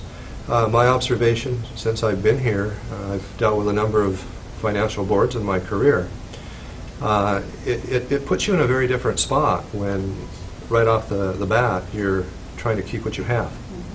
And it, it's really difficult to go into the vision budgeting process when you ex- expend so much time and energy at justifying what you already have. So we need to turn that conversation around, and, and we can do it, but, you know, we need to, we need to make that part of our budgeting process. I mean, uh, believe me, it wouldn't take long for, for me to sit down with you and come up with a vision plan in terms of what we need in the next 10 years. I'm doing this job for a number of years. Uh, But it has to have meaning, and it has to fit into a plan, and it has to be affordable. I mean, that's, the- that's the key in any community, that, that you have a, a publicly funded budget. You can't tip that balance. And who knows what the balance is? You know when you've tipped it. But you have to be very cautious and, and be cognizant of what everybody else needs in this town. We all want the best services for this town that we can provide. And, and I always caution, because if you get into a scenario where your vision budget is not reachable and not defendable, it loses its purpose. Uh, uh, Just a caution. And and if we put numbers down uh, in terms of vision, it it means that we really believe that we need to go in that direction to meet the needs of our students in the future. And I, I think this is a, you know, the- an ongoing conversation with the Board of Selectmen. I mean, even just the, you know, the, um, the agreement to allow us to submit a required, a required services budget so that we could not use the concept of level staffing, which doesn't work when we have required staffing people that we have to deliver, uh, or the mission budget, which, again, I think means, has a very specific meaning, as you outlined there, which is not necessarily what you would like to offer for services to your students. Right. uh, Type of thing there. So I think we still have some work to do in terms of what type of terminology that we're using there, so that it- it has the right meaning uh, on it. Because I think we're get, getting closer, but I don't think we're still there with the town. We have this conversation, feels like all the time, about mission budget terminology. Um, Which But, we didn't two years ago. oh, really? Well, we had the conversations, but using those terminology, Right. I think, at least for me, I'm more on board with it than I was two years ago, and so I think we are making progress. Sorry, I didn't mean to cut you off. No, it's okay. I was going to say, Ke- Kelly, you brought up a good point, which I, you dovetailed from what uh, Daryl and Mark said, but we, I do think that might be a worthwhile um, activity to go through and fund, uh, pr- project the funding for our strategic plan and what we need. So it's not wish list items, but one of the hard, you know, one of the things that every community, every board has when they're talking about a strategic plan is having it actually influence your activities moving forward and sticking with it. And so it's kind of, um, it seems sort of like uh, a fu- futile effort to write a strategic plan if we are not on track to meet the goals of the strategic plan with the funding that we're given. And so it may be worthwhile taking the time to say, project five or 10 years down the line, saying, "Th- these aren't wish lists, you know, we're not saying we want, you know, flat screen TVs in every room for the sake of doing it, but if we are to meet the strategic plan that the school committee has put together, we're projecting that we're missing it by this much, this much, and this much. And then to Mark's point, people know, when we settle on the budget each year, people know that we got X amount, but the things that we missed are, That's a really good point. Uh, it- We sh- we should be doing that, no no doubt in my mind. Uh, It is important to know that- that that we are meeting our our mission uh, and our strategic plan with with the budget that we have. It's stretched, but we are meeting the needs of our students. Uh, Believe me, you would be hearing from me much more in that area if we weren't. Uh, So, but it is a, it is a struggle, and there, there are naturally things that we would like to do that we can't. And uh, we need to keep the eye on the ball, because uh, it may, down the road, influence our ability to do our, uh, to accomplish our mission. So uh, I think we, we do need to do that exercise. All right, good? Uh, As we, we move on, uh, DCAP, another nice acronym, Uh, District Comprehensive Accommodation Plan. That's what it's called, or curriculum plan, sorry. Uh, Every district by law uh, has a DCAP plan, and we've revised ours, and we've done it in a way that uh, creates greater meaning to it. And what is it? It it outlines uh, instructional strategies that teachers use when students are struggling in the classroom prior to them being recommended for testing to be placed on an IEP, an Individualized Education Plan. And uh, we've had one in the district for many years, but uh, we needed to review it. We had a comprehensive program review by, by- done by the Department of Education two years ago. And uh, we reviewed the plan with them at that time, one of many things we reviewed. But we felt as a leadership team that, that we needed to make sure that our staffs were, were fully committed and fully understood that it needs to be actualized. So we created a process last year, we sat down with our staffs and uh, went over our old plan and developed a plan according to uh, strategies that we currently use in our classrooms. So we have a district plan that we've uh, finalized and finished, uh, worked through it with our, our local uh, educational association. So we'll be presenting that to you at our next meeting. Nice to have that done, and- and also nice to to know that uh, our teachers are using a lot of, uh, and I, no doubt in my mind, are using a lot of uh, various strategies to meet the needs of students in their classrooms prior to recommending them to be placed or tested uh, to be placed on an IEP. Accountability presentation, the state, as you know, uh, No Child Left Behind, we went into the waiver process. Now we have something new, Every Child Succeeds Act, or Can Succeed Act. Uh, We, we want to do a presentation on our accountability levels with you. Uh, As we move forward, as you know, they have MCAS 2.0. oh. What does that mean as we move forward? Uh, Quite simply, if we, and we, uh, we've already opted to take MCAS this year, we're still subject to accountability status. Those districts that uh, have enrolled in the other exam called PARCC uh, are exempt from accountability status. And you also realize that the MCAS will also have PARCC questions on the MCAS exam for this year. So it's a little convoluted and, and actually hard for us to understand at the leadership team level. But it'll all iron out in the next few years, and we will have one universal exam across the state uh, called MCAS point, or 2.0, and it will be an online testing uh, format for our students. So uh, again, we'll, we'll be uh, having a, a presentation uh, strictly on, uh, on accountability uh, down the road. One thing I, I wanted to mention before we move on uh, very quickly, the high school uh, administration and, and myself have been working with Middlesex Community College on a partnership. Uh, We're uh, very, very close to be bringing it back to you for a presentation. Some very exciting opportunities for our students and staff. Uh, We're hoping, uh, with your blessing, when we have, have what are the direction that we're setting, uh, able to present to you, we can uh, start rolling it out in the fall of next year and and hopefully in the summer of this year as well. So it- it's it's so exciting, I don't want to disclose anything at this point in time because I need to sit down with the high school teachers yet, in all fairness to them. Uh, I don't want them uh, sitting at home stressing out if I start talking about it right now. But uh, it's it's an incredible opportunity for our kids. It's it's unbelievable. And and all I can say is Middlesex College uh, is looking toward the future. It- It's it's really impressive, so. And I'll leave it at that. Are we doing a promo for the next meeting or something? Oh, this is a teaser. if I anyone know. That's a teaser. Cliffhanger. To get more people in the audience here. All right, uh, good discussion, although it put us 10 minutes behind schedule. All right, that's okay. That'll be okay. Uh, So we're going to talk about school start times, and uh, I just want to put a a clarification on, on the, the way it's phrased on the agenda. So we're going to have two discussions, and I want to do it as two distinct discussions. We're going to have a first one about school year start dates, and then we'll have one about school day start times, not school year start times, um, school day start times. And what I would like to do is, we'll have a discussion up here, and then about school year start dates. And then if anybody wants to have some comments about school year start dates, great. And then once we've, you know, reached some kind of resolution for tonight's discussion, we'll segue into the school day start times. We'll talk about it, and again, if anybody wants to come up and and talk about school day start times, they can do that as well. Question about procedure, I don't want to screw up the plan too much, but is there a logic for why we would talk about it before we hear from what the people in the community have to say, rather So, than vice versa? the- it's a good, good point of clarification. We are not making any decisions tonight, and Yeah. maybe I should have prefaced that. We are not making any decisions tonight about either one.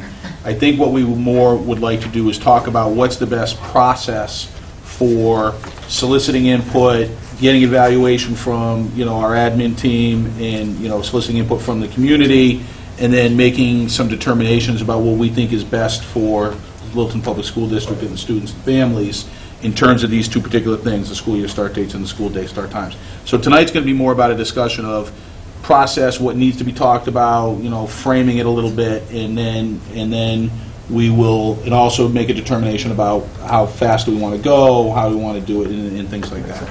Okay, that all right? Yep. All right, good. All right, so let's just start talking initially about school year start dates. Uh, Typically, historically, we've always started after Labor Day. We did this year start before Labor Day because we made a determination that we felt that Labor Day was so late in the calendar, is as late as it could be, that we thought it maybe would be beneficial to uh, s- try starting before Labor Day for the first time. We seem to have survived that to one degree or another. Whether or not people liked it or not is certainly, you know, part of the- of the process to evaluate it. Kelly, do you have any comments before we we talk about it as a as a school Um, committee? Yeah, it, uh, I think it worked out really well, and and I received a lot of positive feedback. You're never going to get everybody liking something different. uh, and We get used to routines, and and it takes a while to adjust. But uh, I guess from my point of view, I really enjoyed the fact that we had some flexibility. And I know that flexibility isn't going to exist very much because of the way the calendar year works uh, from year to year. But uh, we do have union considerations as we, we have this discussion that, that we need to be mindful of uh, in terms of contractual language. Uh, I mean, the, the, the important thing when we, we talk about uh, school year start times is, is obviously what comes to the forefront, uh, snow days. And, and what does that mean at the back end of the school year in June? And I think that's a, a, a- a good component to the conversation that, that we really need to, to have. It it really depends on what you're used to. Uh, We have 180 compulsory days in in Massachusetts. Uh, We build in five snow days. Uh, Other areas have 196 compulsory days. Uh, So uh, there isn't a discussion about how close to the end of June that you go. You're close, no matter what. And most states say that you can't go beyond July 1st. So there there are some parameters. Uh, Massachusetts doesn't look at time on learning in minutes. They view it in days, so that creates less flexibility as a result of that. So uh, I I think as we, we, we talk about uh, this as a school committee and as a community, uh, we need to be mindful that, that, uh, that Labor Day changes from year to year, and we want to make sure, if we do something differently, that uh, it's going to uh, meet the needs of what we're trying to accomplish long-term. Alex, any thoughts on school year start date? Sure. So I think this past cycle, Labor Day was on the 9th, uh, and that was as, uh, as you guys said, as late as it could get. Um, No, 7th, it can't be later than the 7th. That's right, First sorry, Monday. 7th, that's right. I'm looking at, we started on the 9th. Right, That's where that correct, num- That's right. where that number was coming from. Right, right, But right. Labor Day was on the 7th, we started on the 9th. Right. Uh, And then, of course, we need that day before the start of school for staff to get, uh, to get in and for new staff as well. Um, I don't think, as Kelly said, that you're ever going to make anyone 100% happy. Uh, I think what, I think this year and this situation worked well. I'm not sure what will work well in different cycles. What I think would be good if we could come to some understanding on was if we could plan out years in advance, and thankfully the calendar is already set. So unlike our standardized testing, where we're not going to know before we take it what's what's on the test, the calendar is laid out in front of us at the end of time. So with that in mind, if whatever we agree on, if we can say, we might make some changes to this, but you could expect over the next couple of years for us to generally follow this pattern, and maybe it is, if Labor Day falls on the 5th, 6th, or 7th, then we start before, and then uh, if it starts earlier, then we'll start after, or something like that. If we had some sort of rule of thumb that we would use every year, that would give people, I think, a little more stability and a little more reliability in terms of their summers, their calendars, camp sessions, things like that. Yeah, I mean, I- this is the type of thing where I don't have a tremendous um, opinion either way, except for what we get with respect to feedback. Um, You know, like, it it doesn't really, in fact, it's not going to have a huge outcome on student learning, it's really a lifestyle kind of thing. I personally feel like um, we, I think we did something, I I think we managed it the best we could this year. I suspect that people probably don't love the idea. We sort of tried to shoot the middle as best we can by doing a long weekend around Labor Day. I suspect that if I had kids, that it would probably be better to either do one or the other, and like Alex said, give people long enough notice that if they have vacations planned, it doesn't screw that up. But I feel like doing the, you know, like middle-of-the-road thing probably was the best we could do to mitigate the impact this year, but probably going forward, I would suspect it's better to go one way or another. Um, I would want to also hear, I don't think we heard as much from students. Last year, we didn't have a student rep when we discussed this. Now we do, so I'd be curious if Olivia could um, get a- an idea of how this has impacted students directly rather than just parents. But Obviously, parents are um, pretty important in this as well. Um, And then, I I personally have, uh, my opinion, if it- this was still affecting me in my daily life, would be that the Labor Day start date is a traditional thing, but it's pretty arbitrary when you actually think about how things happen on the ground. And if we can align, to me, something that would be more constructive would be aligning with other districts and other educational institutions like colleges and universities, because um, I think we have, it's mismatched right now. Colleges tend to tar- start the school year earlier than us, and they end the school year earlier than us. So when you're talking about babysitting and athletic, you know, cooperations and stuff like that, it's probably more difficult to have um, the start dates sort of off kilt like that. Um, Again, yeah, again, I I don't have a huge stake in it, in getting feedback, but I think that people are probably pretty happy with the way that we did it this year. Uh, Yeah, I think, um, you know, what, I, especially with Labor Day late this year, I like the way we did it this year, and I would probably look towards the whole calendar, and, and I was trying to figure out, is there a rule? It isn't quite figured out yet, but it's probably the Wednesday before Labor Day or September 1st, because September 1st drives our, is our contract date. Right. All right.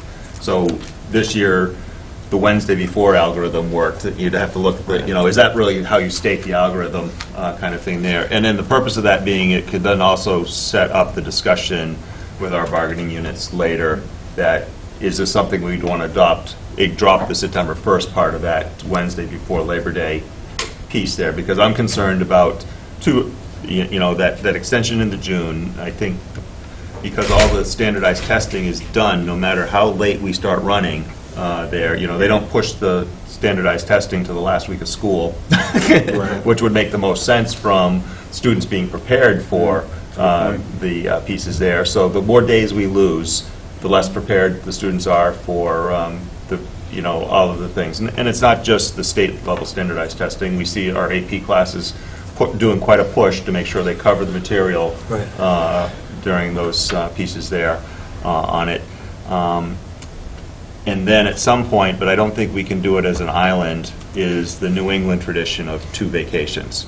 Uh, I, I agree with what I've seen on the MASC mailing list, that I don't think one community can do it in- as an island. It, it doesn't work uh, there. At some level, is, is there trying to to get broader con- um, advocacy amongst all of the school committees to make a more unified decision about whether we drop the dual vacations as a, s- as a, you know, I, I don't know if that becomes some kind of low-level thing that we start talking about at the uh, district level at MASC, district meetings kind of thing, which we don't traditionally participate in. I, you know, I, I don't know how we start getting some larger consensus about what do we do about the dual vacation, two-week vacation uh, there, because, uh, again, that's, that affects, um, you know, that, and like I said, it's a New England tradition, it's not a nation, a national type of activity. It's not even entirely a New England tradition, because I know my uh, um, relatives in Connecticut, they don't take two full weeks. Right, so. And that's an interesting thing. We, we sort of brought that up at the end of the conversation last year. We said we'd talk about it again. That would be the type of thing where I would love to get more feedback from, because I, I agree, Daryl, that it would be ideal if we could get, you know, a- a- have an MASC conversation, have everyone switch three years from now. Um, I don't think it would be a huge problem for us to do it if we're, if we have the, pop- if, you know, people in the town are saying we're ready for that, especially when colleges and universities, again, tend to have a spring break that's not the same as our breaks, especially people, people in college and in high school, that can be difficult, so. I, we should talk about that, and, and that should be a part, Mike, for the, when we're getting feedback, that should be included, because we shouldn't be talking about this in a vacuum, because the days, when you're talking about extending the school year, that'll be affected by whether or not we have two week-long vacations. So I'm from Ohio. We always started Tuesday before Labor Day. Right. If you want to know the rule, that was the rule. Now, they changed the rule now in some of the districts, and they started a couple weeks before Labor Day. Um, But I never understood why we start so late here. And it actually it made a lot of sense, because the first week of school, you really didn't accomplish that much by the time you got around and getting back and into the swing of things. You actually started school for real, right, when you got back from Labor Day. So it made a lot more sense to me, and I don't know why the New England tradition of starting so late um, up here um, didn't make sense to me, because also, we didn't go to school until the end of June. Um, So we didn't have the two vacations. You were done right after, usually the week after Labor Day was when everything was finished, so. Memorial Day. Memorial Memorial, Memorial Day, sorry. It's a long Yeah. school year. Not much- not much of a break. Um, And I agree, it can't be done in a vacuum. Um, I did have a question, though, when you said the feedback was generally positive, was that from staff, or parents, or students, or all of the above? Uh, All of the above, and, and again, I, I, I want to be cautious when I, when I make those statements, uh, and we need to talk about process. If, if we're going to do this, uh, we need to come up with a, a process that uh, allows us to get good information from the community, the school community, so that we're not, you know, uh, for example, if, if we have a forum, we may have 20 people show up. Well, we have a lot more people in our school community than that, and we really want a good cross-section of what people think. And, and then I, I have to go into student voice. This is a great opportunity for us to look at stu- school count, or student councils more correctly, and uh, ask them to help us with this, and come back and make presentations to us after they survey the student body. I mean, we'll help them make the presentations so that they're, they, they're reliable and, and and valid in terms of the questions. But I think this is a great exercise in, in student government as well. I totally, I totally agree that this couldn't be a better thing for students to discuss, because it, I'm sure they have a huge opinion on it, and, you might- I don't know why you're laughing, it seems like, Yeah, there's she's the- probably ready to talk. both like both of the topics that are being discussed as of right now there's been so much talk so many different opinions personally, like my friends have jumped back and forth multiple times given what's come up. I think the general consensus that I can say is everyone hates being in school at the end of June. It's hot, we're all miserable, and we have to sit there and take finals. Um, and realistically, at the high school, there's around two to four days of what you were saying, like reacclimation and the district determined measures and like student teacher contracts, which was nice because we had those two days to get all that information, went home for a four day weekend, and then came back and we, in most of the classes, started learning. Um, I'm not sure that people, at least the students wise, would be happy giving up two breaks um, or giving up a break in general. Um, I think a lot of that, though, is for a lot of classes, we're getting homework over break anyway. So if it was, we're not going to have a- this break, but you're not going to have this huge project due when the equivalent of getting back would be, I think students would be okay with that. I agree with you. 16-year-old Mike Mazzoni hates what I said a minute ago. Sixteen-year-old Mike Mazzoni would have had a longer summer where they can't assign any homework. Oh. Alex didn't do his summer reading. I, I'd also like to add that the AP class students are at a tremendous disadvantage, and I know that there were classes last year that were talking about meeting over breaks and over weekends to try and catch up um, from days that they missed. Because of or the start Or because of the late start. So starting earlier gives them that much extra time.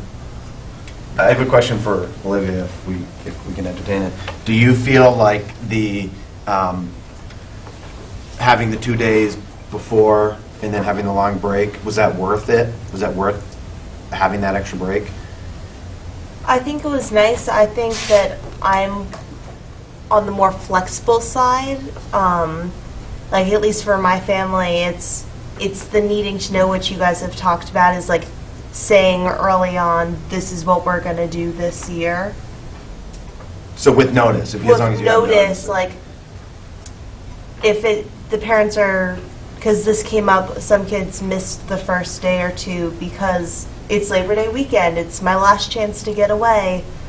But a lot of families are back because there's back to school shopping, there's everything before school starts. And with the AP, my homeroom is um, the AP Euros teachers classroom, and they have a countdown on the whiteboard how many days they have until the AP exam. And they have like how many regular days and then how many school days. And the school days, because of the breaks, is I want to say around 20 days less. I will also say on the other side of the AP, after the AP exams, it's very hard to get the students to do anything in the AP classes when they still have six weeks of class left or whatever, and no AP exam coming up, and no final coming up. What are you going to get them to do? But just another comment, Mark, you know, when we, we, we bring as much context into this as we can, you always have to remember, what is, what is the next adventure or venture our students are going into? If you go to a typical public university, you're going to be taking that same course with higher expectations in less time. So, you know, I, I guess that's why it's so important that we, we take the time to really explore what we're doing here. Those students that took the nanotechnology course, uh, it was a pretty high caliber course. Uh, I would probably say as hard, as any AP or harder, and they had less time to complete it. So, you know, part of our job in, in, in education and public education is to make sure that our students are prepared for the next part of their journey. And, and we can't ignore those expectations either. So it's going to be a real interesting conversation as we, we try to figure out what the best thing is to do for Littleton.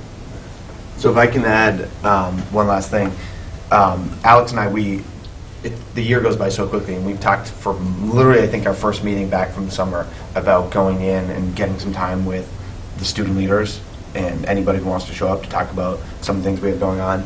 and I don't know what you think, Olivia, but this seems like the perfect conversation where we could, if Alex and I or and any of our other colleagues wanted to come in and meet with student council and stuff like that, this would probably be a topic that would probably get some, I would think- interest from students. Do you? Yeah, I think so. I think you'd have to figure out because there's um, student council, and then there's also um, the other four students that are in like basically to fill in for me Right. the times that I can't come. I think they have separate meetings on the sides, but they all ask me like how the meetings went and like what got discussed. So I think I think, like you said, a lot of students would be interested in that because students my age, at this point, we don't really have any problem sharing our opinions with adults. Um, Well, I'd be, I'd be, I mean, I'd, maybe we can ask your help in helping to facilitate that with John, or with Principal Harrington. Yeah. But um, I would say the more the merrier, probably, if we Yeah. could get both groups together. Or we could At some do point. an open forum. Yeah, with anybody who Where wants to show anyone, any student who wants to spend time after school talking about school can do so. Let's, go- let's hold off on that for a second, because I think that we're going to circle back towards the process. um, And I just want to get a couple comments in, and then, and then let anybody who, in the audience who wants to come up and speak, do that.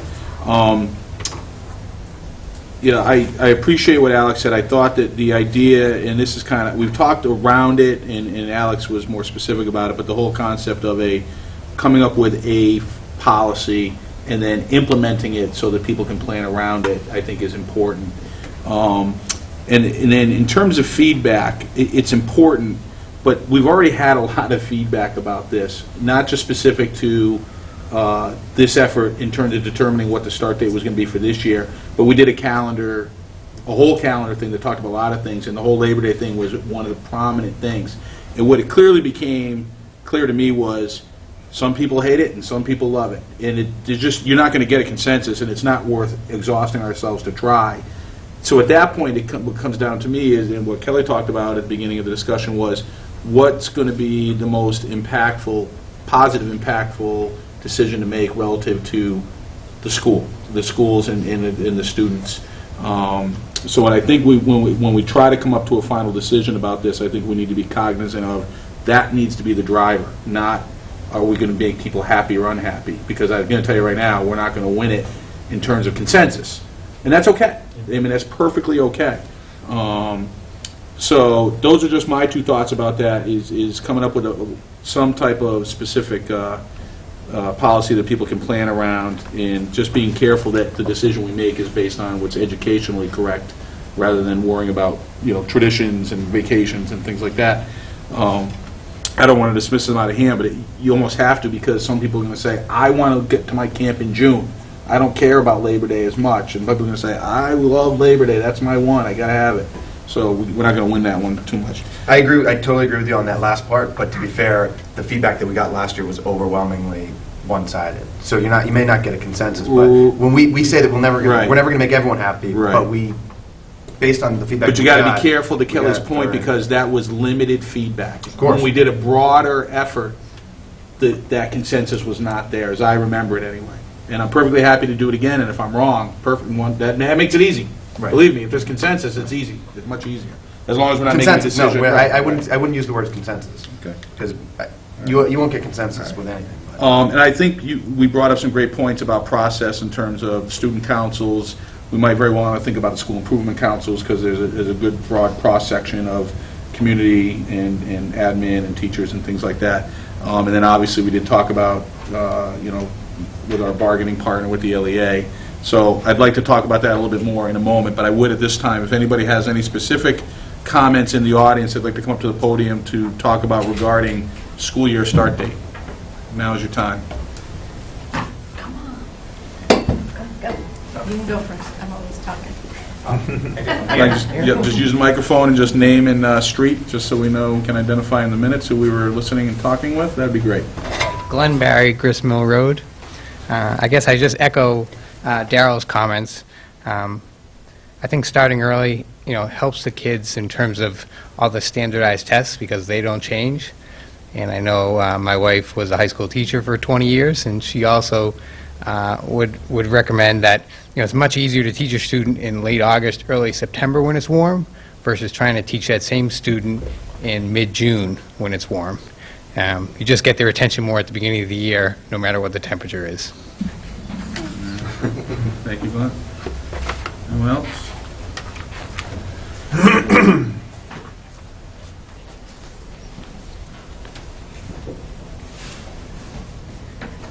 Lisa Boone. Um, I have a few comments. One, I will definitely agree with, um, I think the earlier start time, um, as far as the date goes, can be very advantageous. I know there's a lot of people who push back on that, but it depends on the age level you're looking at, where you're going to get that feedback from. The higher grade you are, especially high school, all the sports have already started. Families are not going away on vacation at that time. They're, they're there because of these commitments. So, um, and you definitely have the first few days of just reacclimating. It doesn't matter what age you are. So it's not, it takes some time. So if you wait till after Labor Day, you have to take that first week and assume you're not getting much done except acclimating, getting everything set. Know that you're starting the, the week after Labor Day, period. So that, you just have to accept that, and whatever you decide. Um, I actually like the idea Alex had brought up about maybe using um, when Labor Day falls to help determine that, if you really want to look at how long you're going into the year. I think, having had high school students in AP classes, it is a huge burden, and I know that's just one piece of our community in the school district. But it is significant, and it's huge. When they take those exams, they really, it is difficult getting them to do something. I know one of my students, you know, the teacher tried to create a project that they did that was somewhat interesting, and to try to keep them engaged, because they still had to go to the class. You know, there was, there was a time that was already set, and so it's, it's actually more significant than you may imagine, um, especially as our students are taking more and more of these AP classes. The stress of being prepared for that test and the amount of extra time that they're forced to put in that are not in school hours. And the teachers are doing this too. We have to really, we're, we're focusing on students and families. The teachers are significant piece of this. I think they're the ones that you have to get the most feedback from as well. You have to really consider that um, when you're making some of these decisions, um, as well as the families, because they're, they're important to this, you know, decision. The second thing I want to talk about is the whole vacation idea. I have a very strong opinion about that, but I think that it doesn't matter what everybody else is doing around us. I think we have to make that decision based on what makes sense and what's right, not just for our community, but what's right for the school.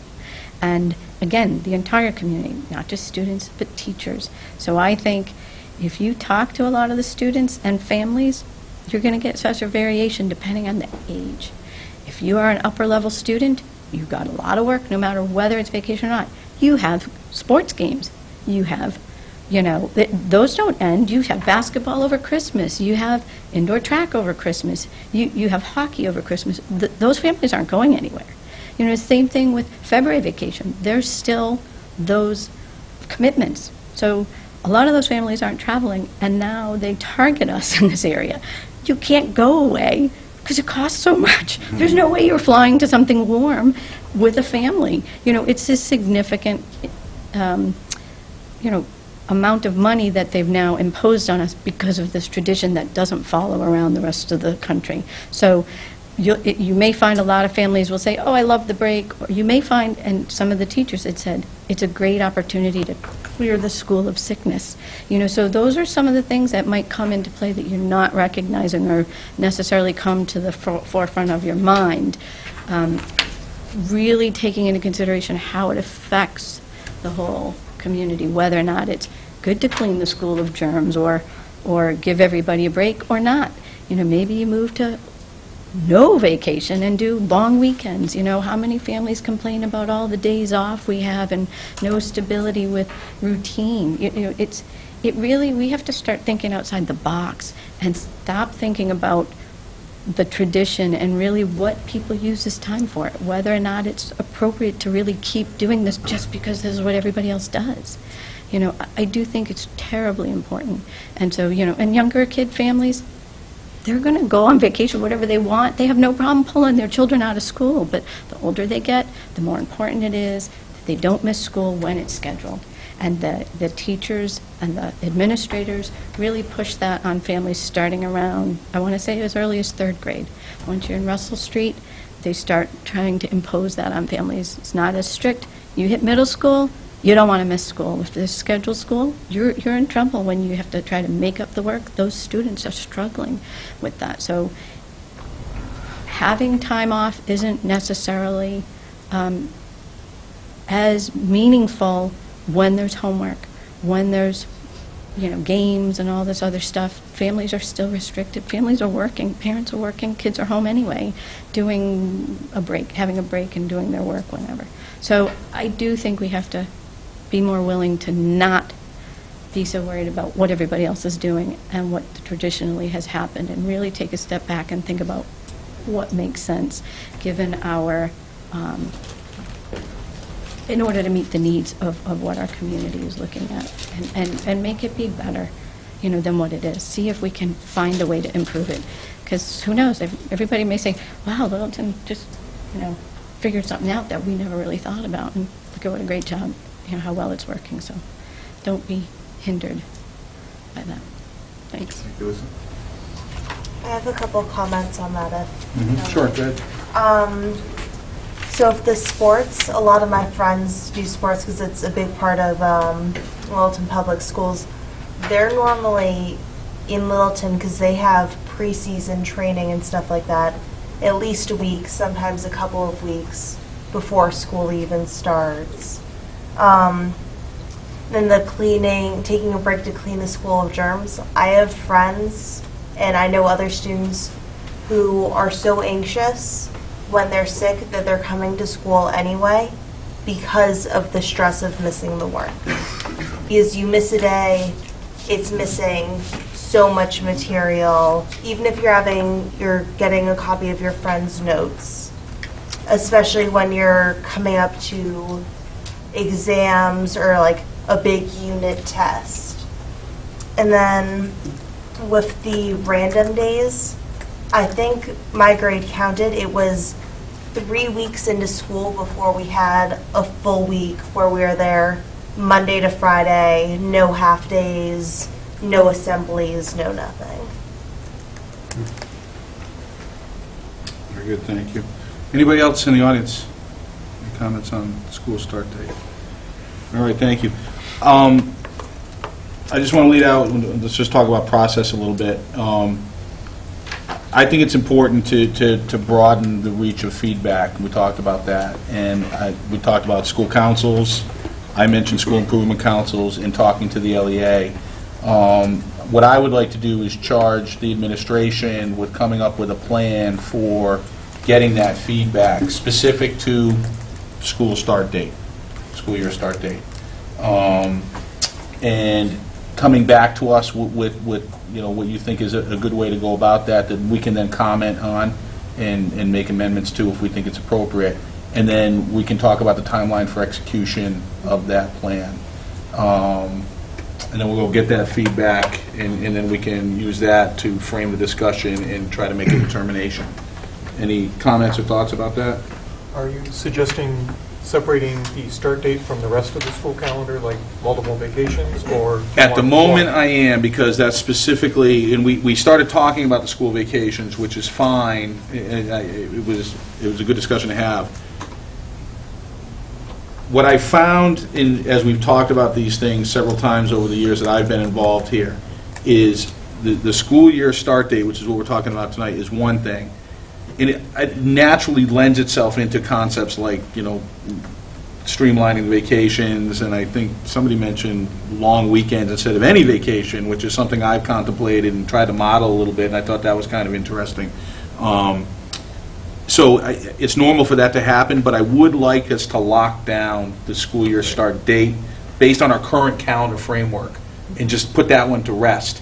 And then if we want, and I think we should, go ahead and have another discussion about, gee, what else will we, what we, what might we like to do, and what are the impacts, both in terms of the impact on teaching and learning, but also budget-wise or or other things like that, what opportunities we have, and at least had some good ideas about that. So I'd like to just go ahead and just talk about the school year start date as a fairly focused, let's get this done, lock it down, and then we- if we want to keep going, we- we can.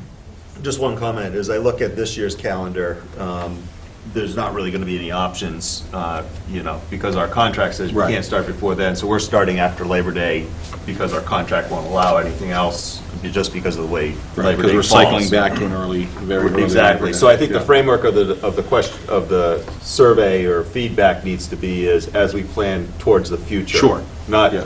This year, because if Right. if we focus on the wrong question, we'll Right. get the wrong, That's a great point. The wrong You- answer. You're right. I Uh, want, right, the discussion should be about, in general, school year start date, not specific to this year or even next year.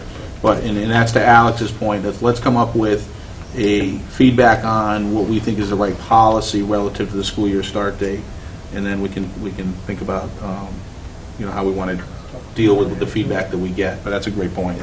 It's, it's not this year. Yes, Lisa? Sorry, I don't mean to, Yeah. interrupt.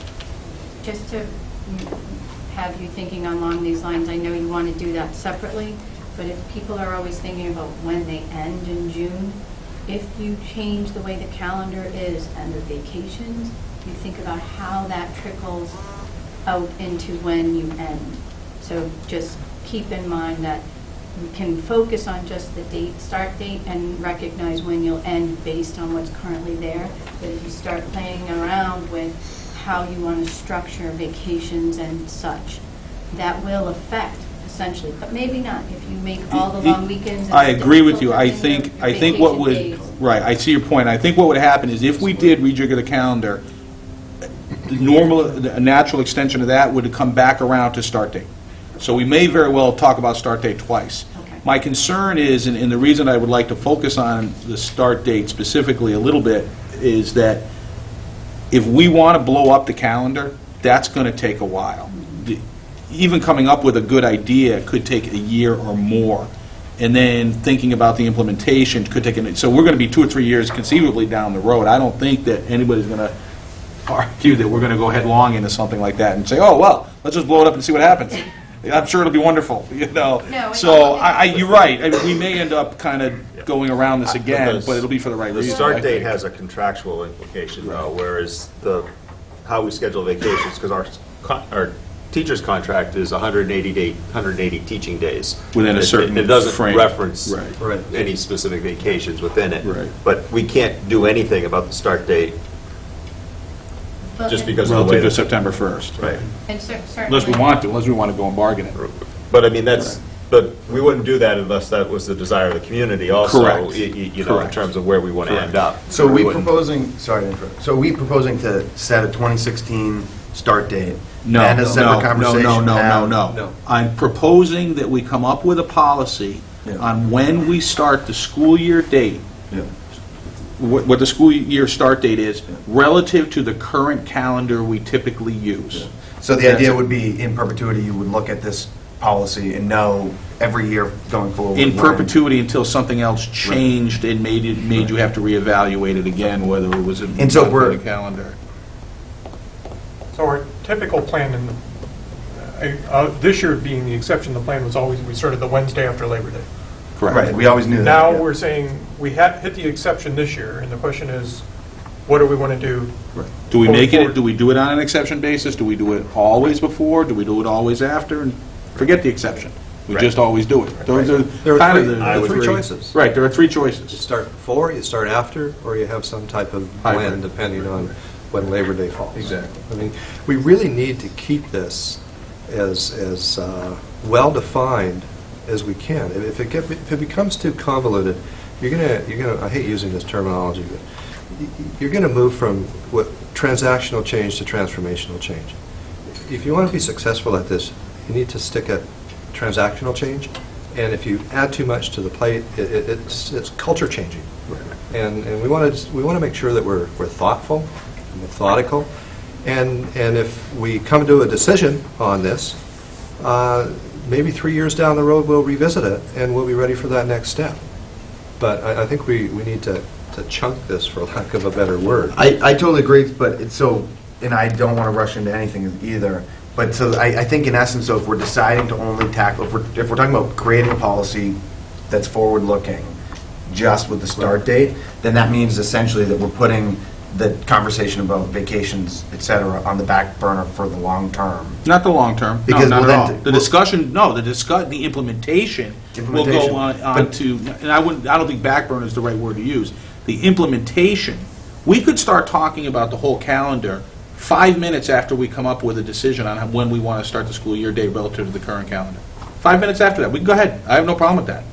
But that discussion will take so much longer. Right. And be so much more encompassing and be transformational, as Kelly just Right. talked about, that we won't get to the end of that process for a long time. And we may be gone Right. in some capacity or other, you know, some, some frame, you know, we could get, other people could get involved in that, you know what I mean? That's a big one. And, and, and we may make a determination that we can't even do, we, we don't even think it's the right thing to do as Littleton. Lisa might disagree, but there might be reasons why we say, you know what, we need to think about doing it relative to an MASC effort, or something along those lines. That's gonna be a much more difficult and, and twisty-turny path to Oh, I have no doubt traverse that- down than simply coming up with a solid policy relative to school year. I, my point is just, and I, it's gonna be forever, and it's, it'd be an ambitious task to undertake, but to Kelly's point, to set a goal of having the start dates be this way for the near future, and then to start a conversation, which is very likely going to impl, is going to affect the start date go- in the near future, to me, I don't know, does that?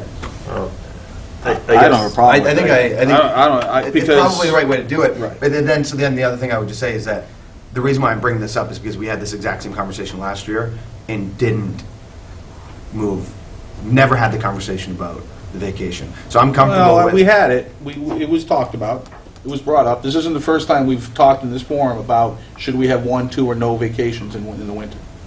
We've talked about it. We haven't talked about it in depth, and we haven't driven, come up with a process for really making a determination about what we think is the right thing to do, but it's been brought up.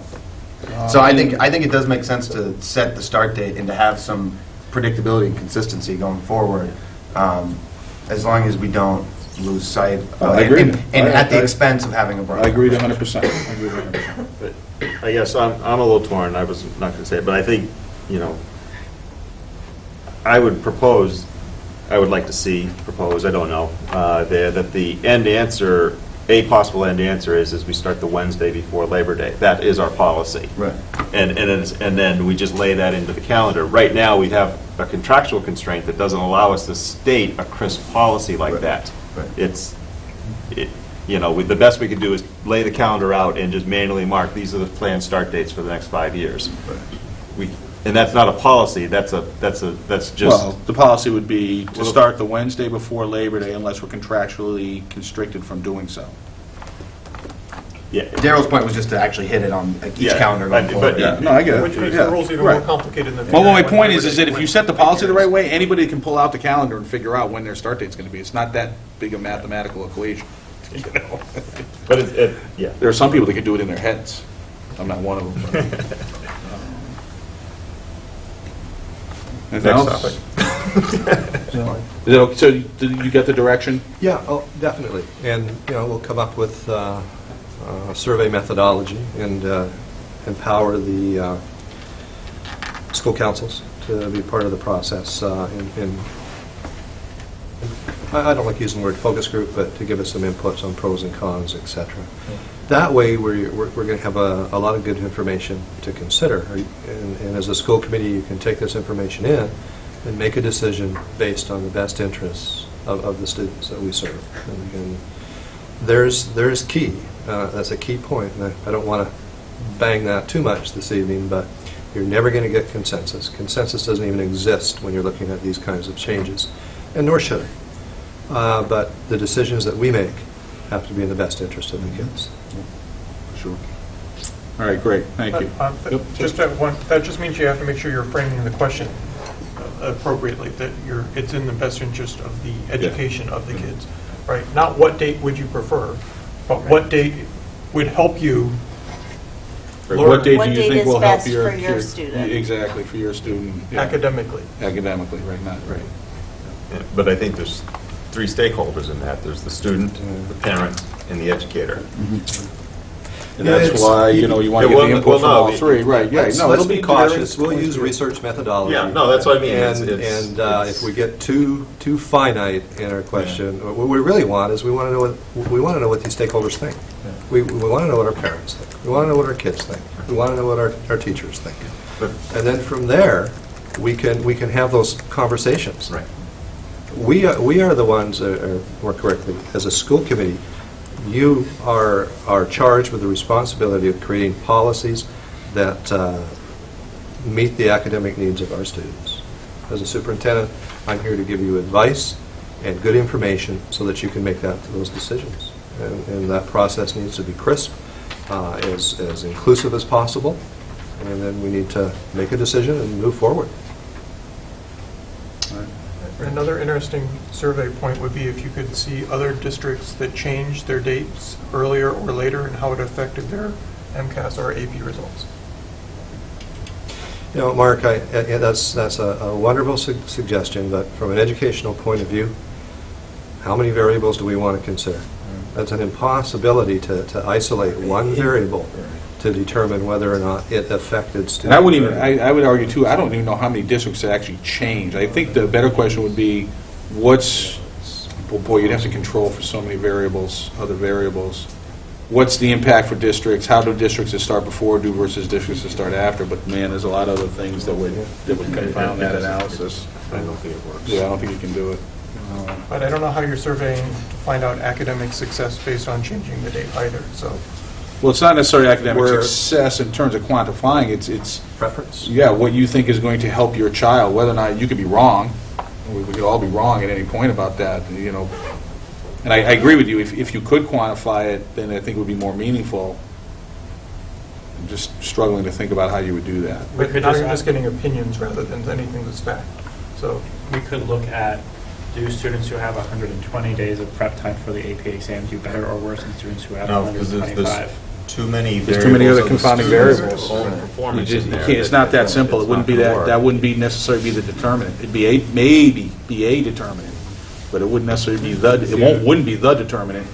If you had the same you would- teacher for every How would you student. know how much of a determinant? That's the problem, that you gotta be able to, Every time you do something like this, there are limitations, and you just have to know what those limitations are as you, as you move forward. I, we'll obviously have more discussion about it, and I, I think we have a decent enough process at the moment to let's, let's get it started, and, and we've got a whole nother discussion to have, which I think is gonna be even more robust than that one. Yeah. Um, all right, all right.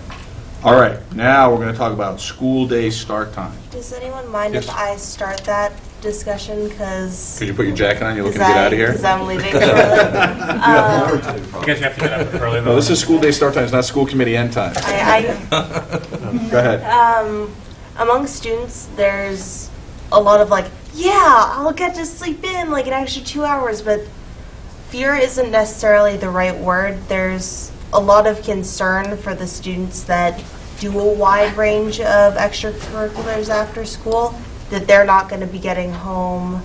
Because a lot of the sports teams, if they have a meet, hmm. they're not getting home till six to like eight each night sometimes. So I think they're more concerned if they're not starting practice until three or four, they're not getting home till later, they're not even starting homework till later. So they're still being up as late as before, maybe even later. So they're, the amount of sleep they're getting isn't necessarily longer. Mm-hmm. All right. Thank you. Anything else? That's all I have on that. We'll that. hold on to that one. Libby, I would like to say your, your contribution to tonight has been very, very helpful. Thank you. Thank you. And I will contact um, Mr. Mazzoni to try to work out a thing for the students. Do you know his dad? Yeah, What? my You know his dad, dad? my dad's not gonna have any interest in Yeah, this. I that's hate to Mr. break it to. Mazzoni. This is Mike Mazzoni. Hey, we'll talk to, Alex and I, we'll talk to Kelly and Principal Harrington and the rest of the group to see what they wanna do. Thank you. Thanks. Welcome. All right, Mark, school, we started down that end, we're gonna keep going. School day start times, thoughts, comments? So, um, I don't have, um, as much I have a bit of an opinion on this, but I don't have as much fact on it, other than the research that's been going around that says the high schoolers should start later. Um, As far as sports and things go, there's schools that start later, and they seem to manage just fine. Like Parker starts much later than we do, and still has a full sports contingent, so it must be possible. Um, I don't know how it works, but. What's much later? Like, I'm just curious, like, I don't know, what time I does think Parker they start start? at eight-thirty, Eight thirty. but I'm not Like about an positive. hour, an hour, over- a little over an hour long, okay. So, All right. Is that it? Yep. Okay, Daryl? Uh, Yeah, I've been thinking about it a little bit, and, you know, trying to just run through what kind of different options uh, that we have uh, here, you know, and, and uh, one of them comes is just the spread of start times that we have between our classes, mainly because I think we do three bus runs instead of two bus runs, and there's a cost impact uh, to that. Uh, Other things thinking about in terms of sliding the start time back uh, on it. And another thought was, can, do we reorder the start times? Do um, we slide the high school back and keep it the three bus runs, slide a different school up to start a little earlier? I still do have concerns, though, on, you know, how early the day starts uh, there. You know, the 6:30 bus pickup, so it is early uh, uh, there. Uh, And no matter what we do, none of the, the only one that starts to address that without the stop times becoming excessive is the financial implication of running a different bus schedule uh, there um, on it. I personally would like to see the high school time, you know, closer to 8 o'clock rather than 7 o'clock or 7:15 for, for start time. It doesn't have too much of an impact because I don't want finishing practice running into dinner uh, there. Right now, I think, you know, even if we slid it a little bit there, you could still wrap the day up at a reasonable time for normal uh, extracurricular activities uh, there. So I mean, there's a lot of things that start coming into play uh, that I think we need to, to, uh, to uh, be thinking about. Because I did notice that, um, you know, several of the schools ended up with like an 8 o'clock start time, and uh, I looked them, tried to look them all up, but it was, you know, and, and I think wrapping up at 2:30 rather than 2 o'clock type of thing there. So it affected the end of the day, but not as massively as moving it to like a 9:30 or 10:30 start time, which I don't, I, you, you can't finish an extracurricular activity until after 6:30 at night if you start doing that, uh, which means you don't, family dinners, all of the other traditional family things, so, sorry, traditions, but some people still value those. uh, there, as well as, um, you know, even tonight with the cross, the indoor track meet, that's not going to wrap up until 8 o'clock. Um, And I'm pretty sure she's got homework that she'll be doing when she gets home tonight, uh, kind of thing there. So that end time is, we got to be cognizant of how, how that gets affected there. So I, I just thought about a bunch of options, but I don't know, you know, there's a pros and cons associated with each one. Um, I'm thinking that we might want some kind of process to sort of like maybe tick out the different options, the pros and cons from the student side, the school side, and some of them have a resource cost implication there, so that we can try to see how do we come to balance of, of the, um, the different um, trade-offs, essentially, that are gonna, gonna go there. And then is that something that we want to put on that multi-year vision, is, is we'd like to move to a two-bus uh, run system, and this is the cost uh, for it, uh, and what would be the possible implementation timeline uh, on it. But I don't think we can jump to those conclusions this soon. There, there's another, on, playing on the sports line, it, there's an extra cost that you haven't actually considered if you push the school start time back too much, is that your fields will be dark when you're trying to play sports. So you're gonna have to either come up with lighting on the fields or some other schedule. Yeah, that's why I think realistically, the 10 o'clock start times is not, it doesn't work on the backside of the- of the the equations there. Good. Mike? I think Daryl just nailed the analysis of it. I, my my personal belief is that the school times ought to be later, um, and it's just a ma- a question of figuring out logistically how to do that. And I, that- we know that other people are doing it, um, so if it's a question of finding a way of getting the outdoor sports that rely on, or that, you know, that tend to be later in the day, rotating them through a lighted field, um, the basket, you know, looking at the finances, there's, we're gonna have to just, I think, do exactly what Daryl said, which is go through all those considerations and seeing, you know, finding, we're gonna find a problem with a bunch of them and finding ways to address the- each of those problems step by step is probably necessary. Probably help, meeting with people like Parker and other schools that we know that do that would be helpful to see how they solve those problems. Um, I think to Olivia's point about staying up later in general, I think the science is in so clearly and definitively that um, I don't want us to ignore, sim- I don't want us to not do this because of simple problems. If they, if they exist and we can tackle them, then I'd like to talk about it. Um, To to Olivia's point about coming home later and staying up later, the science, and I remember when I was in high school, you, not, your biological clock doesn't let you go to sleep at 10 o'clock. So whether you're doing homework or otherwise, you're up till midnight and then waking up at 6 o'clock or 5:45. So my inclination is that I do tend to prefer having the start time later. I don't, I'm not interested in making a jump to 10 o'clock or something like that, but if there's something reasonable in between where it doesn't have a huge, tremendous back-end um, effect, then I think we should explore. And I think I just redeemed myself to 16-year-old Mike. who's only 10. I'm advocating for that. It's all about the net. I just want to add a couple of comments because I think we covered a good deal before you got to me, which is nice. Um, I think the research is pretty clear, and I think we've talked about that a lot um, in previous meetings, that we know that schools start too early for students. I think the bigger question is, what do you do about that? Um, Couple of things. According to the Youth Risk Behavior Survey in Littleton, less than 10% of high school students in Littleton get what the National Sleep Foundation considers to be enough sleep. Um, That's what they call eight and a half to nine and a quarter hours. They consider that to be a good amount of sleep, and less than 10% of uh, high school students in Littleton, and also around Massachusetts and across the country, are saying that they're getting this much sleep. It's not because Littleton students are, you know, drinking way too much coffee. Um, It's, but this has been a problem that we've seen for a number of decades. And the research on school start times and their impact on student sleep and academic performance have been around since the early 90s, uh, which actually was before most, if any, high school students had cell phones and were up late at night on computers. There's surely some of that happening then, but uh, and that's really not a great thing to do to your circadian rhythm, is to stay up staring at a screen all night like I'm doing right now. But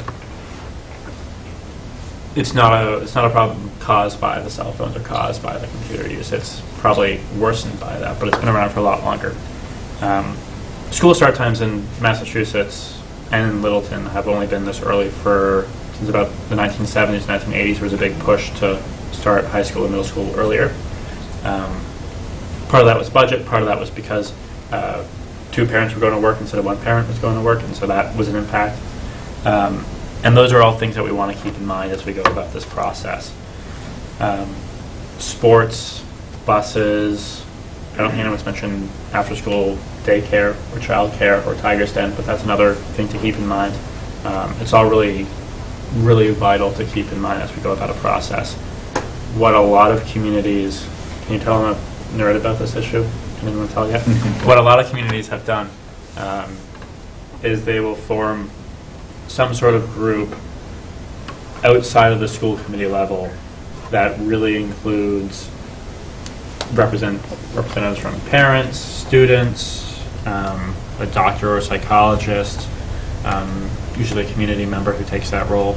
And then, of course, you want to keep your, um, I think it would be good to keep someone from the athletic department or the coaches um, involved in that as well, um, as well as uh, buses. So you want to, essentially, we all know, the research is, is is abundantly clear at this point, um, that early school start times are not healthy for adolescents. The question is, how do you fix it? And because we, just 30, 40 years ago, were starting school at 9 AM, I think there's a way to fix it. I'm not suggesting we go all the way back to 9 AM, but I think there's a middle ground, and there's a way to do it, and it does work. the tricky, tricky parts to figure out how do you shift, how do you make the shift. Um, The CDC, I believe this uh, last year, the National Centers for Disease and Control said that they recommended that schools not start before 8:30 a.m. for high schools and middle schools. Um, I'm not sure if they may have included K to 12. I'm pretty sure it's just middle school and high school. So has the American Medical Association, the American Psychological Association. Um, between 8 and 8:30 is that window. I don't think that we're going to give Olivia another two hours of sleep in. I don't think we're going to get the 9:30 or 10 o'clock start, as wonderful as that might be. I think there's a way to move in that direction with either an 8 or an 8:30 start. Um, and there are a number of different models. There's adding more buses, which does have a financial cost.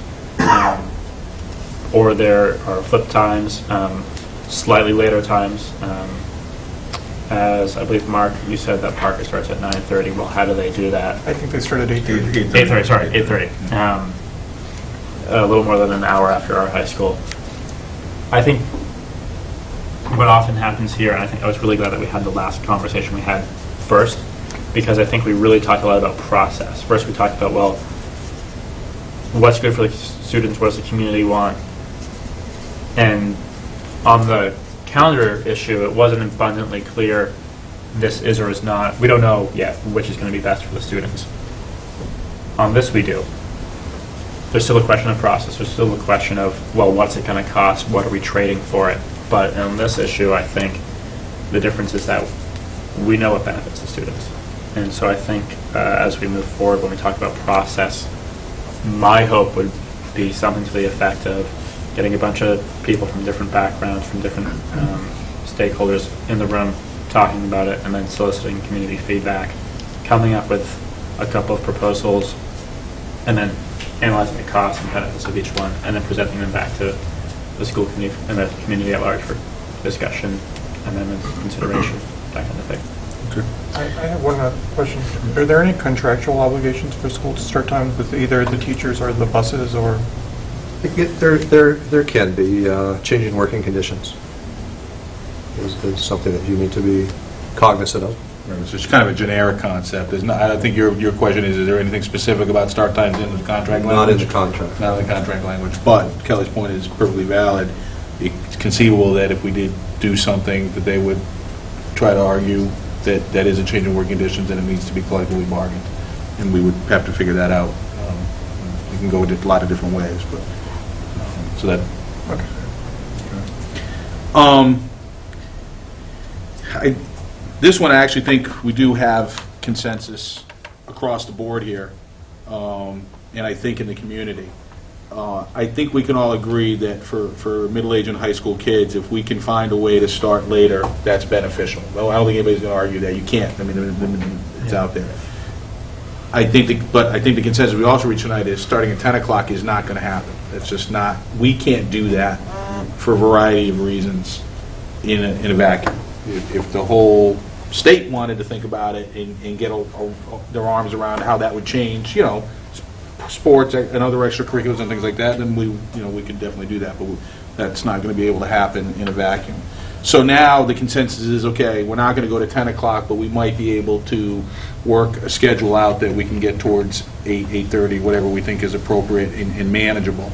And Daryl talked about, you know, maybe a a way to do it is, is to come up with, you know, these various types of op- options along with the cost benefits and, and and issues, logistics, devil in the details type stuff, and then we can evaluate it.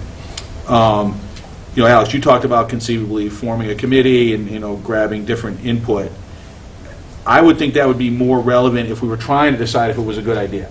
I, I think that that's already been determined, so now it's more about execution and what can we, what do we feel we can do, and what's feasible, and at what cost and what impact, not just bu- budget-wise, but cost and impact relative to the other buildings that might be affected, staffing, you know, all those kinds of things.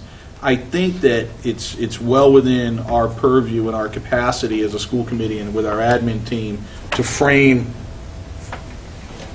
three to, you know, seven scenarios and then debate them and and evaluate them, you know, the way we, we do these types of things.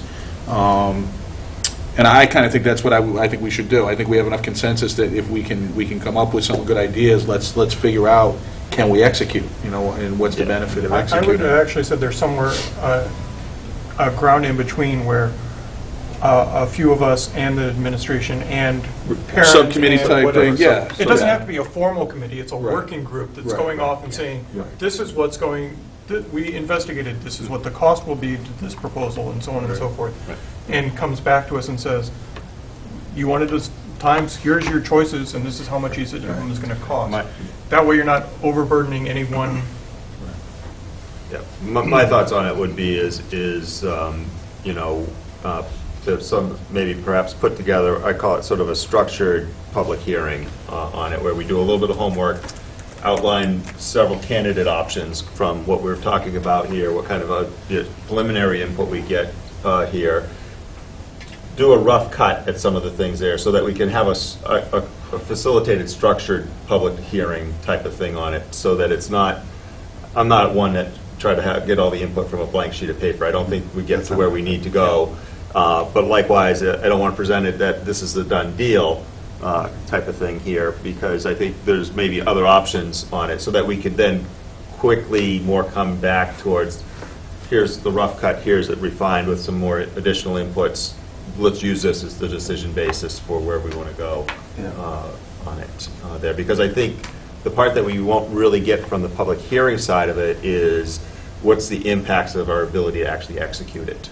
uh, there. Really get that That's why I think we need, for, to Mark's point, the working group, and maybe Daryl, we could do this before we come up with some structured Yeah. um, candidates, but we need the athletic director, we need someone who can jump the hurdles as we get to them. So we need the bus people in the room together so that we're not just sitting here saying the buses could be a problem. And We need athletics. somebody to talk to the bus company. We don't need, I, I Exactly, I yeah, don't we need need someone who the can come up- president of the bus company to come No, here no, we and need someone who can spend answer that several question, hours is in it a meeting. feasible to move Uh, forward? We need someone from athletics to be able to say, if we move it a half an hour, that'll work. That, you know, we can move X, these sports, hockey team, basketball team, any of the indoor stuff isn't gonna be affected. But we need somebody who can answer those questions before we throw it out to a public hearing. We need someone to be able to Yeah. say, It's a we work- can move, We exactly. have, You we have want an the working group or administration that someone's can do tasked that with for us, talking to though. them. That, I mean, that, that- I'd like to offer some, some Yeah, suggestions, or yeah. some advice. Uh, This is, this is a a more complex topic than the previous one. Uh, If we're going to do something, it has to be meaningful, and it has to be able to be actualized. And I spent some time on this, actually a lot of time on this, because I would have loved to come to you with a solution. But there is no solution that doesn't have pros and cons. That's common sense. If we, and I'm going to back up just, just for a second, we are in a state of restorative budgeting as, as as a district. We cut money four years ago and cut staff. Our class sizes are increasing. We need to set our priorities in terms of vision budgeting. What are our priorities in terms of what do we need? What, what's our greatest need? Uh, the array of possibilities perhaps aren't as great as, as one would think. If we combined the two elementary runs, at Shaker Lane and Russell Street School, we would be looking at a price tag added to our budget of approximately $300,000, uh, give or take 20 grand. So you have to ask yourself, out of all the things that we need to do to actualize our Vision 2020, uh, realizing that our town is growing, is going to bring more students in, which is going to add more cost to busing to begin with. You know, is that a plan, or is that even an option? And that's something that, that you know, you're going to have to decide as a school committee. Uh, No matter what we do in a cost-effective manner to create a, a a workable schedule, somebody is going to be starting a little earlier, maybe perhaps not as early. We have a certain degree of flexibility, but you always have to look at, at, at so many different factors in these things.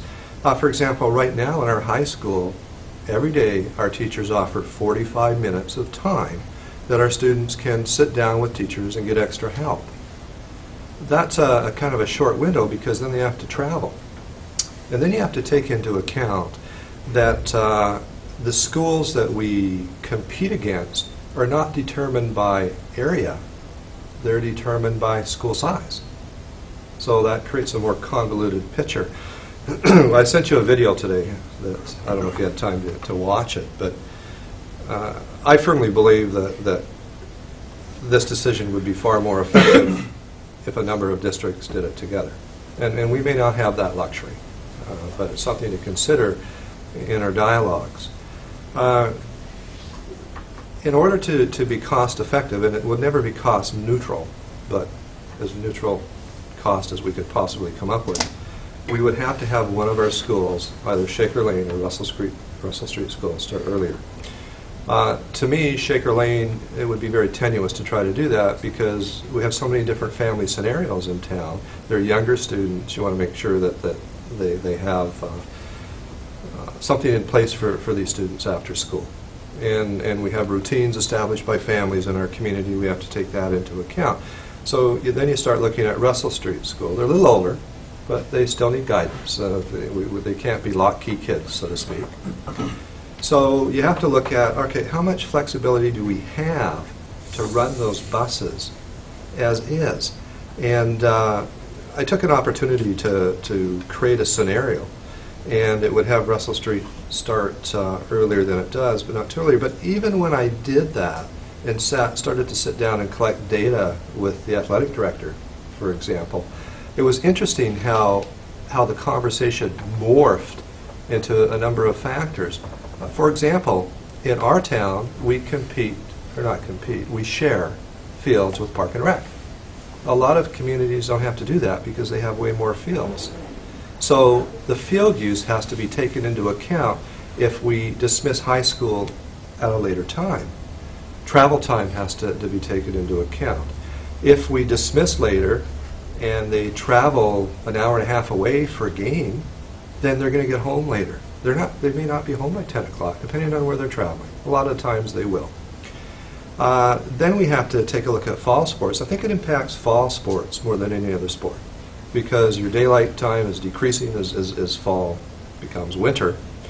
And uh, then we have to take a look at, well, what, do, what is that going to mean in terms of uh, practices? Practices not as much, but games. We're going to have to take a look at lighting for fields. So then you take a look at lighting for fields, but then you have to worry about uh, other concerns, uh, mosquitoes, triple E. So we'd have to spray our fields more. And, and, and so there isn't a, a simple solution. We're really going to have to, again, figure out some parameters in terms of what we're comfortable doing, get input, public input, and then as a school committee, again, make the decision in the best interest of, of, of the students. I'm really struggling with the fact that it would be very hard to maintain that 45-minute uh, time span for our kids to receive extra help from teachers. But I think that's very valuable, and I think that directly affects academic process. Or, I'm sorry, academic progress, not process. so, so it's after 9:30. That's why. so. I'm, I'm in favor of later times, and, and, and I mean, a myriad of things have been done throughout the nation, and some states have policies that say you can't start before 8:30, and that, that gives you that guidance. I don't think it's going to happen in Massachusetts, to be honest with you. Uh, there are ways to start high school later. We just have to make sure that, that we take a look at what we need to do to make this successful. And those fall sports uh, and that study time are, are a challenge as we move forward. And then students, if, if we start one of those, those elementary schools earlier, what impact does that have on, on families? We have to really think about that as well. Uh, I don't think there are as many solutions as, as, as we would like to have, uh, especially if you really want to be conscious about spending more money on busing. And to me, that, that wouldn't be a top priority, to be honest with you. I wish we had that kind of money. But if we had $300,000, I can think of many, many ways that, that we would, that I would recommend that we spend that money. Not to say that a solution isn't there. We just have to, to really think this out. And, and uh, you know, I've asked Mike, our, our athletic director, to start talking around the table with the schools that we compete with. I think that, that's a start. There have been regional discussions going on, but uh, that's partially effective only because who we play is determined by our, our, our population size of our high school. So just some things to, to consider. Uh, The evidence is overwhelming uh, that a later start time would be beneficial. There's certainly no doubt in my mind, but how do you do it in a cost-effective manner? And how do you do it to make sure that we're not creating another issue at the same time? Um, I appreciate that, that input, and it, it helps to convince me that the, and and Daryl's one said, we have an admin team, and I think that the, the, the only way we're gonna be able to figure out the feasibility of different options is with, they're the only ones can figure it out. And, and if we do it through a committee structure that has not enough of that, or makes it more difficult or more, pro- a more prolonged process for them to go through that, then I don't, I don't see the benefit of that. Um, I still think that it's, we need to go through, I want to go through the process, personally, I want to go through the process of evaluating, um, if, if only to ultimately understand why we, we're not going to do it now versus, you know, why we have to put it on a visioning type of spectrum versus an implementation spectrum, uh, you know, a more short, shorter-term point of view. Um, so I, I definitely think we need to move this forward. I would definitely like to have it being driven with our input and input from the community.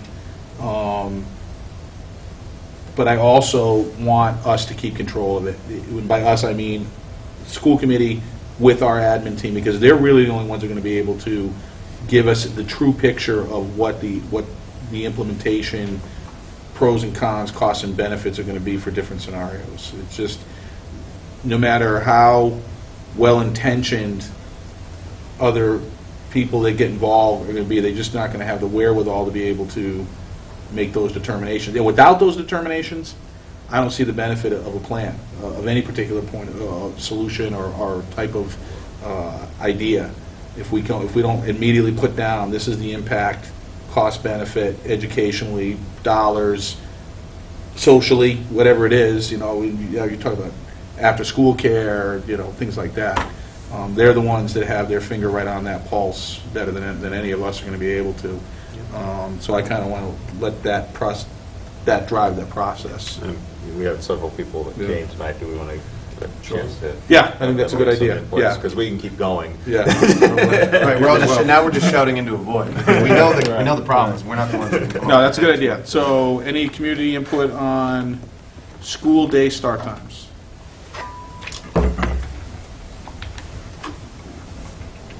Susan Gerleo, Lake Warren Drive. Um, I am a mama of middle schooler. I'm also a child psychologist, and um, I'm happy to hear that you all know how important research is.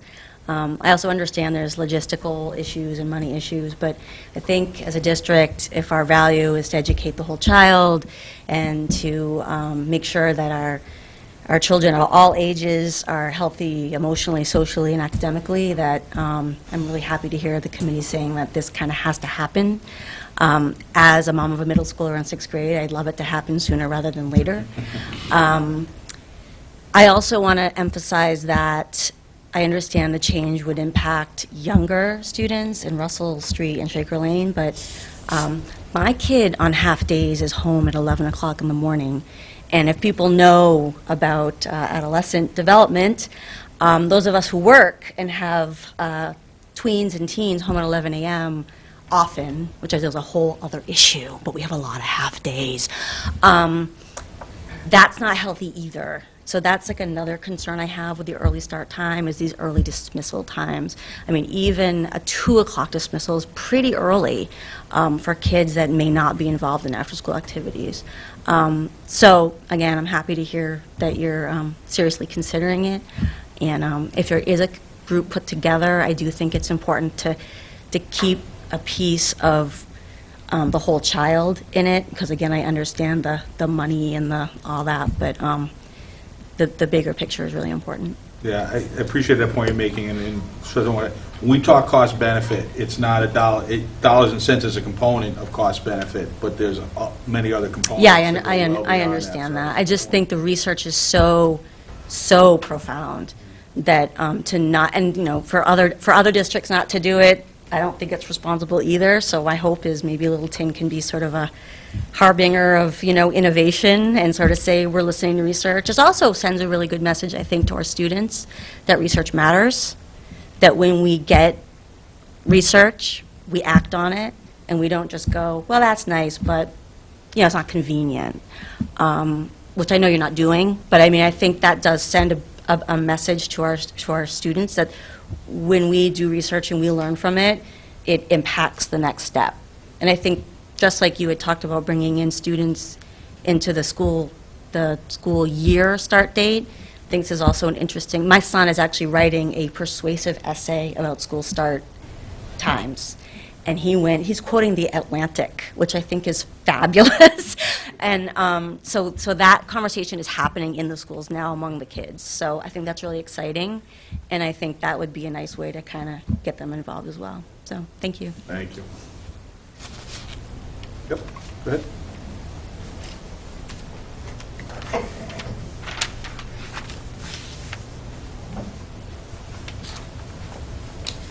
My name is Lori Hine. My son is also a sixth grader at the middle school this year, and I came tonight just to tell you, on behalf of myself and a lot of other parents, how much difference a half an hour or an hour would make to him in the morning. Um, he has been either the first or second kid on the bus route in the morning every single year of his academic career in Littleton. So this year, we pay for the bus, but we actually drive him in the morning just so that he can get that extra half hour.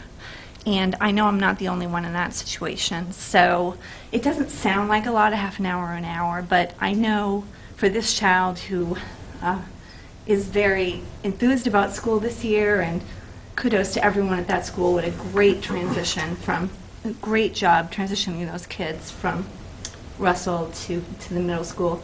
Um, the, the timing is really an issue for him. So um, it doesn't sound like a lot, but I think, I think it would make a big difference. And um, in terms of somebody who's always had to balance that end of the day equation, it- um, in my experience, the difference between him getting out or even the younger kids, because we faced the same issue when he was in Shaker, at uh, two versus three in the afternoon, it's not as much of a change as you'd expect because either you're lining up care for that entire block between two and five or six, or you're not, or you have some other kind of arrangement. But that one hour isn't going to change either the convenience or the cost equation for the parents very much at, at, at Shaker. So thanks for your time. Thank you. Yep, Glenn, I don't know how to share a few notes, as long as I have copies. Oh, yeah, So then absolutely, you don't sure. have to take notes. Yeah. So I just made a few bullet points. Thanks. Thank you. Thank you.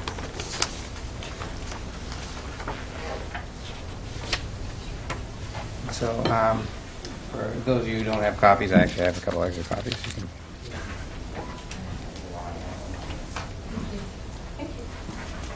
I guess my, um, a quick few bullet points, my proposal is I'd like, you know, I'd like to see if the school committee would thoughtfully consider the impacts of changing the high school start times. Um, The facts everybody knows about the studies. Um, There's even a stat I pulled up about how it seems like in Massachusetts we're uh, a a little more against change, that more than 85% uh, start before 8 o'clock now, uh, as of 2012, versus the rest of the country, it's about 40% uh, start before 8 o'clock. Um, well, I want to highlight some towns that have already changed, and I, uh, and I think uh, there's good study on that. Hingham in 2003, you know, changed from 7:20 to 8. Duxbury in 2009 changed from 7:30 to 8:15. Sharon in 2010 changed from 7:25 to 8:05.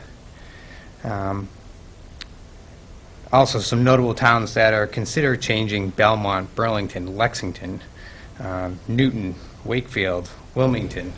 Um, Needham also already has an 8 o'clock start time. Um, And so what I point out here is I thought Sharon High School's website, which I attached here, has, um, I think has a model that maybe we should think about. Um, They ended up switching their start time after they did a considerable amount of uh, um, research, Uh, and they have all that online. They have all the presentations, they have all the meetings, they showed exactly what they looked into. They studied both Hingham and Duxbury because they had five years' worth of experience. Um, And it was very nice that they actually put this all online, and anybody can go see. There's a a ton of information on their website. Um, That's it. Sorry, I forgot to mention Clem Barry, Chris Mill Road. You already did it once. You only have to do it once a meeting. All right. All right, fine. thank you. Thank you. That's, that's great material. It'll be very helpful to Thank- look at. Can I add one, s- on the earlier point about uh, switching Shaker Lane from um, ending earlier? It might impact parents on the other end, in that they might not have to send their kids to Tigerston before school. Right. It's going to help them more than, it more likely to help them than hurt them. Good point. I'm Bartlett Harvey from Mill Road. I want to say thank you for taking this issue seriously. It's, it's been a concern of mine for a long time. I want to make a proposal, uh, speaking to uh, what Olivia said. Um, I'm going to suggest that you not only make the school day start later, but you lengthen the school day because the class periods are too short to be, right now. And if you have a longer day and a later start, the kids will be more awake and get more work done, and I think we can argue that there would be less homework. I mean, that's, that's a possibility. I'm not going to guarantee that. And I also want to suggest that you talk to the teachers about how awake the kids are in AMOD, because it's generally a lost time period. Thank you. Thank you. Anyone else?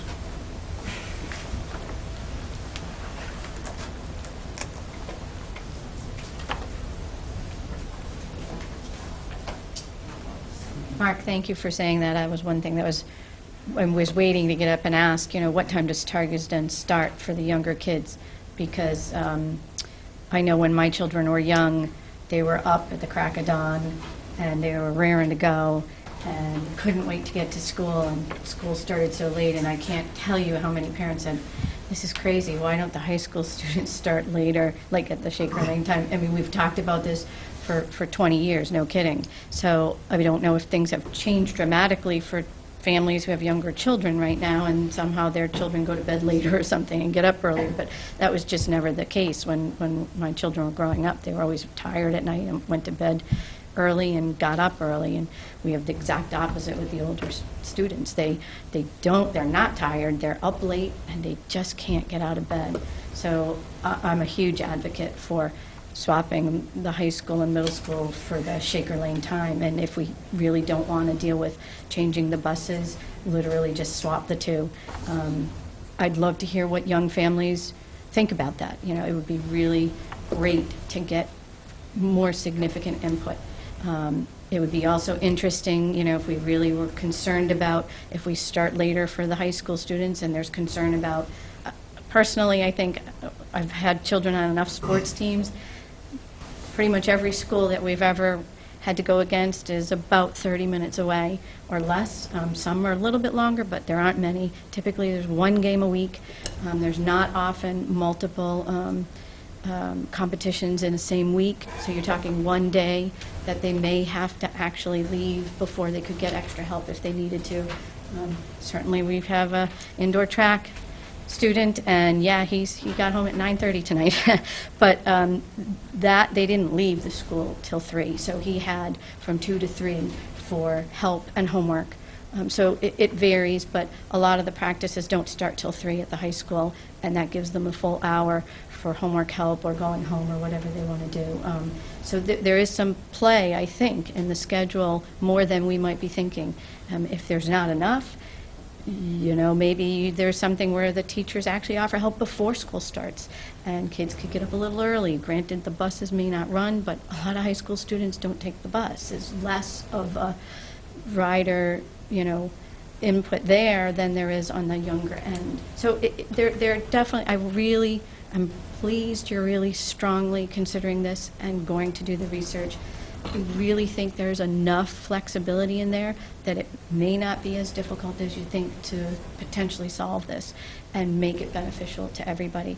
but certainly getting input and finding out what the impact is to families is important.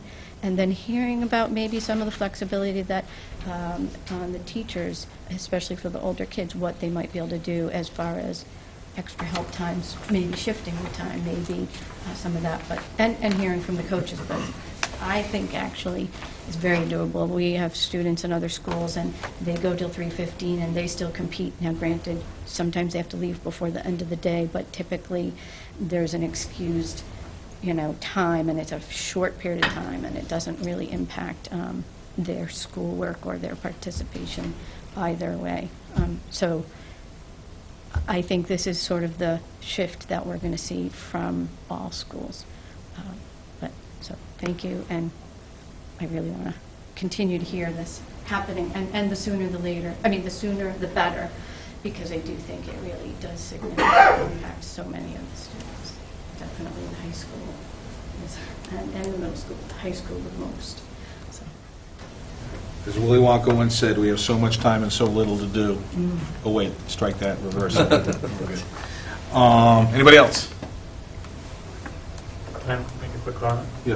Um, There have been a couple, I'm not sure, uh, Glenn, if you, if you remember what towns, but there were some towns in Massachusetts that were able to uh, have either a cost neutral or, a- if we're talking about budget, uh, some savings um, from the shift. And they started, I- somewhere on the Cape, I think, a small town, not, maybe a little bigger, smaller than I forget what, I forget the name of the town. Um, But they made the shift, and they started by not, by expecting to have to pony up some money to do it.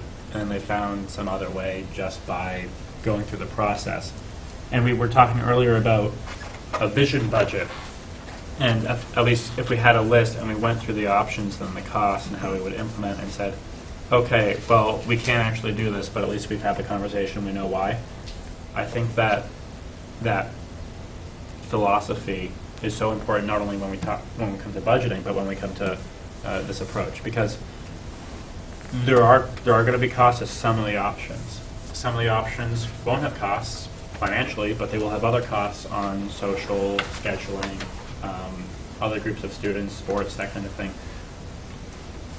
I think we have a number of community members who are interested in this. Um, And I think when we look at the school districts that have successfully uh, changed their start times, and again, Glenn might know more about this than I do, um, but of the ones that I know, they have all had some capacity, whether you call it a task force, a working group, um, some group that brought in the outside players.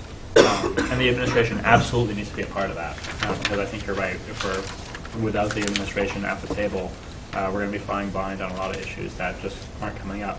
At the same time, um, I actually hadn't thought of the Tigers Den issue in the morning. I thought about it in the afternoon, but it didn't occur to me in the morning. Thought, Oh, some parents, if we switched uh, the elementary schools a little earlier, wouldn't be spending money at Tigers Den, and they, that would be a cost that they would no longer have to pay.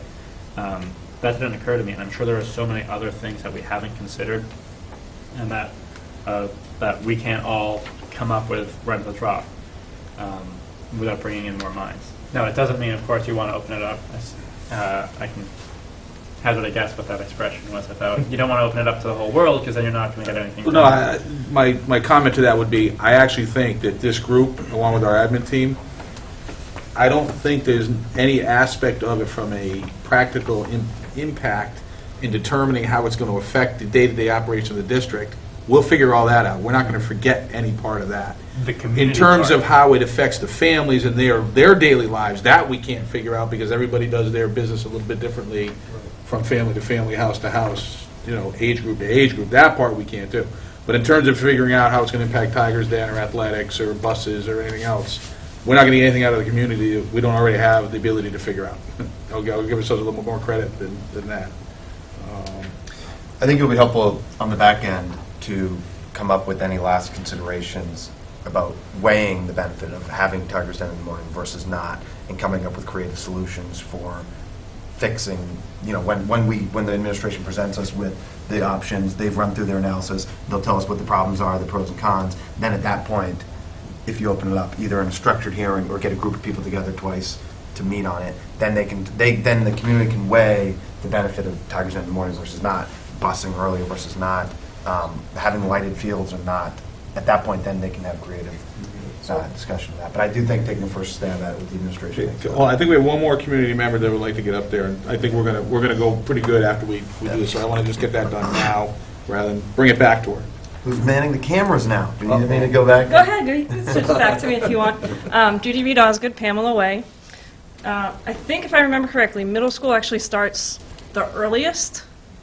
Yep. Yep, To me, 7:20. that's the, and I can't remember the science, that's the age group that needs the most sleep, to me.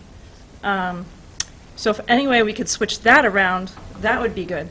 Also, they're the ones that seem to get out the earliest on early release days, where you get emails from Mr. Branco saying, hey, please watch your kids because you're causing havoc in town center. So you come up with the after-school problem. Tiger's Den starts at 7 a.m., by the way, since somebody was asking that. Um, There is no after-school care for middle school students. You go right from fifth grade, sixth grade, these kids are 10 or 11 years old. All of a sudden, there's no after-school program for them. What do you do? They're out on their own running around, latchkey kids, or whatever other thing you have to do. I would like to see them start later. The Shaker Lane kids, I know little ones um, that I have experience with, they're up at 5, 6 o'clock in the morning naturally. So why do we have them going at 9 o'clock? you know, they're they're driving you nuts for three hours before you get them to school. So switching the time around, I don't think is going to affect as many families as much as you think. I think that you're going to definitely have to talk to Tigers Den and busing and things like that. But another weird thought that I have sitting back there, um, listening to all of you for hours, um, is that You can bring why do we have at what what is, to help solve the busing thing? I don't know if it is would be good or bad, but right now we have all of our schools segregated by age group. Why don't we have it redistricted to be parts of town? So Shaker Lane and Russell Street. I haven't been here long enough to know why we did the separation of pre-K through two and and three through five. But one half of town versus the other half of town, would that help busing? I don't know. Yeah. It it would help It's busing, but the other trade-offs in terms of the way you set up the buildings and the materials and the resources and everything else, you wouldn't be able to make it, th- that cost would, would all- more than offset the benefit you would get by having neighborhood schools, for lack of a better term. And then the other thought would be if you have, And it's an intriguing concept, no question. if you have the middle school go later, then do you put the middle school and Russell Street at the same time? Because Same campus. how many, same campus, um, you know, how many middle schoolers take the bus? You know, Paul's mom, um, Right. just said she drives. I know a lot of other parents that drive because they don't want to be sending their kid down the bus at 6:15, 6:30 in the morning. Um, I'm glad you mentioned that, because I, when I was thinking about this, uh, I had, I had always included the middle school. The circadian patterns don't differ that much between middle school and high school. Actually, they don't in elementary, by the way. But uh, younger kids do get up earlier, it's a typical pattern. Uh, So I, personally, I had never separated the middle school from the high school. I think I it think really. it, it needs to be part of the package, whatever that package is. Well, here's the other thing, when you talk about after-school activities and travel teams, the high schools that I know of have more travel teams for sports than the middle school. So if you lump the middle school and Russell Street together, maybe that'll help solve some of those athletic field questions. Also, if you put the high school at the 8 to 2:30 Russell Street time, and you put the middle school at the 9 to 3:15 Shaker Lane time, that might also help that half an hour here or there. Sorry, Rich. Um, anyway. So it's, you know, if, if you kind of, Mr. Clenchy, like you said, kind of separate the high school and the middle school a little bit, that might help you out with busing and fields and stuff. Those were a couple things. I have things about vacations and other stuff too, but um, wait till another day. Thank you. Thank you. Thank you. Um, thank you. Any, anybody else? Community? No? All right, good. Um, all right, so, let's think about next steps and, and how we want to go about it. We kind of started that, but let's, let's see if we can finish it. Um, So I'll advocate again for the working group and the task force for a couple logistic reasons. One, as a committee, we can't do anything without having an open hearing and quorums and everything else. The task force can be working off on their own, and there's going to be a lot of times that these are more quick meetings, where you're going to have something that, we need to find out this information or this information, and you're just getting together to exchange status, right? They're not voting on anything, they're coming back with proposals.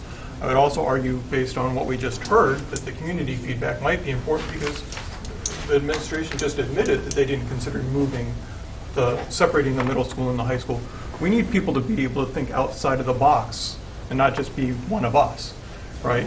I think a task force or a working group that's not composed of a quorum of school committee members, but includes the administration and has access to whoever they need, will get through this in a much quicker and smoother process than we will as a committee. Uh, Your point, if, if, if you make the assumption that the only time we would do business on this in a quorum, then you're right. But I don't concede that point at all. Um, I don't think there's any reason why we need to do it as a quorum. We can certainly, you know, have school committee members driving the process outside of quorum. We do it all the time. Um, So I don't consider that a huge obstacle. Um, And I'm going to circle back to something Mike was saying. I think really the way to think about it is, certainly, it's easy enough at the beginning of the process to get some community input. There's no question about that. And I I wouldn't argue that we shouldn't. I think we should. I think we definitely should. Um, I'm more concerned about giving up, giving away the process to a task force, because what typically happens is, there'll be at least one or two, that I would think at least maybe two school committee members on it. But if the task force owns it, they drive it. It- It's not fair to them if we, if we, if we don't let them drive it. And I feel like this needs to be driven mostly by the administration in terms of coming up with the, being able to determine the impacts of the various, whatever solutions we come up with. I have no problem asking the community and anybody else, whether it's going outside, and getting outside players like school psychologists or other school districts, getting them to help us frame different proposals. But at the end of the day, and analyzing those proposals has to be driven by the school administration. They're the ones who understand better than anybody what the impact, and I don't want to have to ask a a task force to go ask them questions. They should be sitting right there answering the questions as part of the process. Um, that- That's what we're paying them to do. Just a point of clarification, now it's 10 after 10. Uh, That's not what I said. I- I- My assumption was that we were looking at middle school and high school at the same time.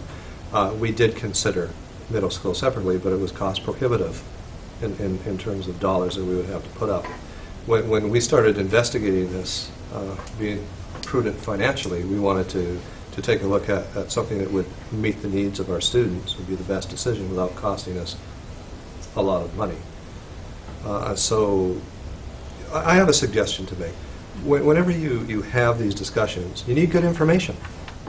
The, the starting point to making good decisions is to have good information.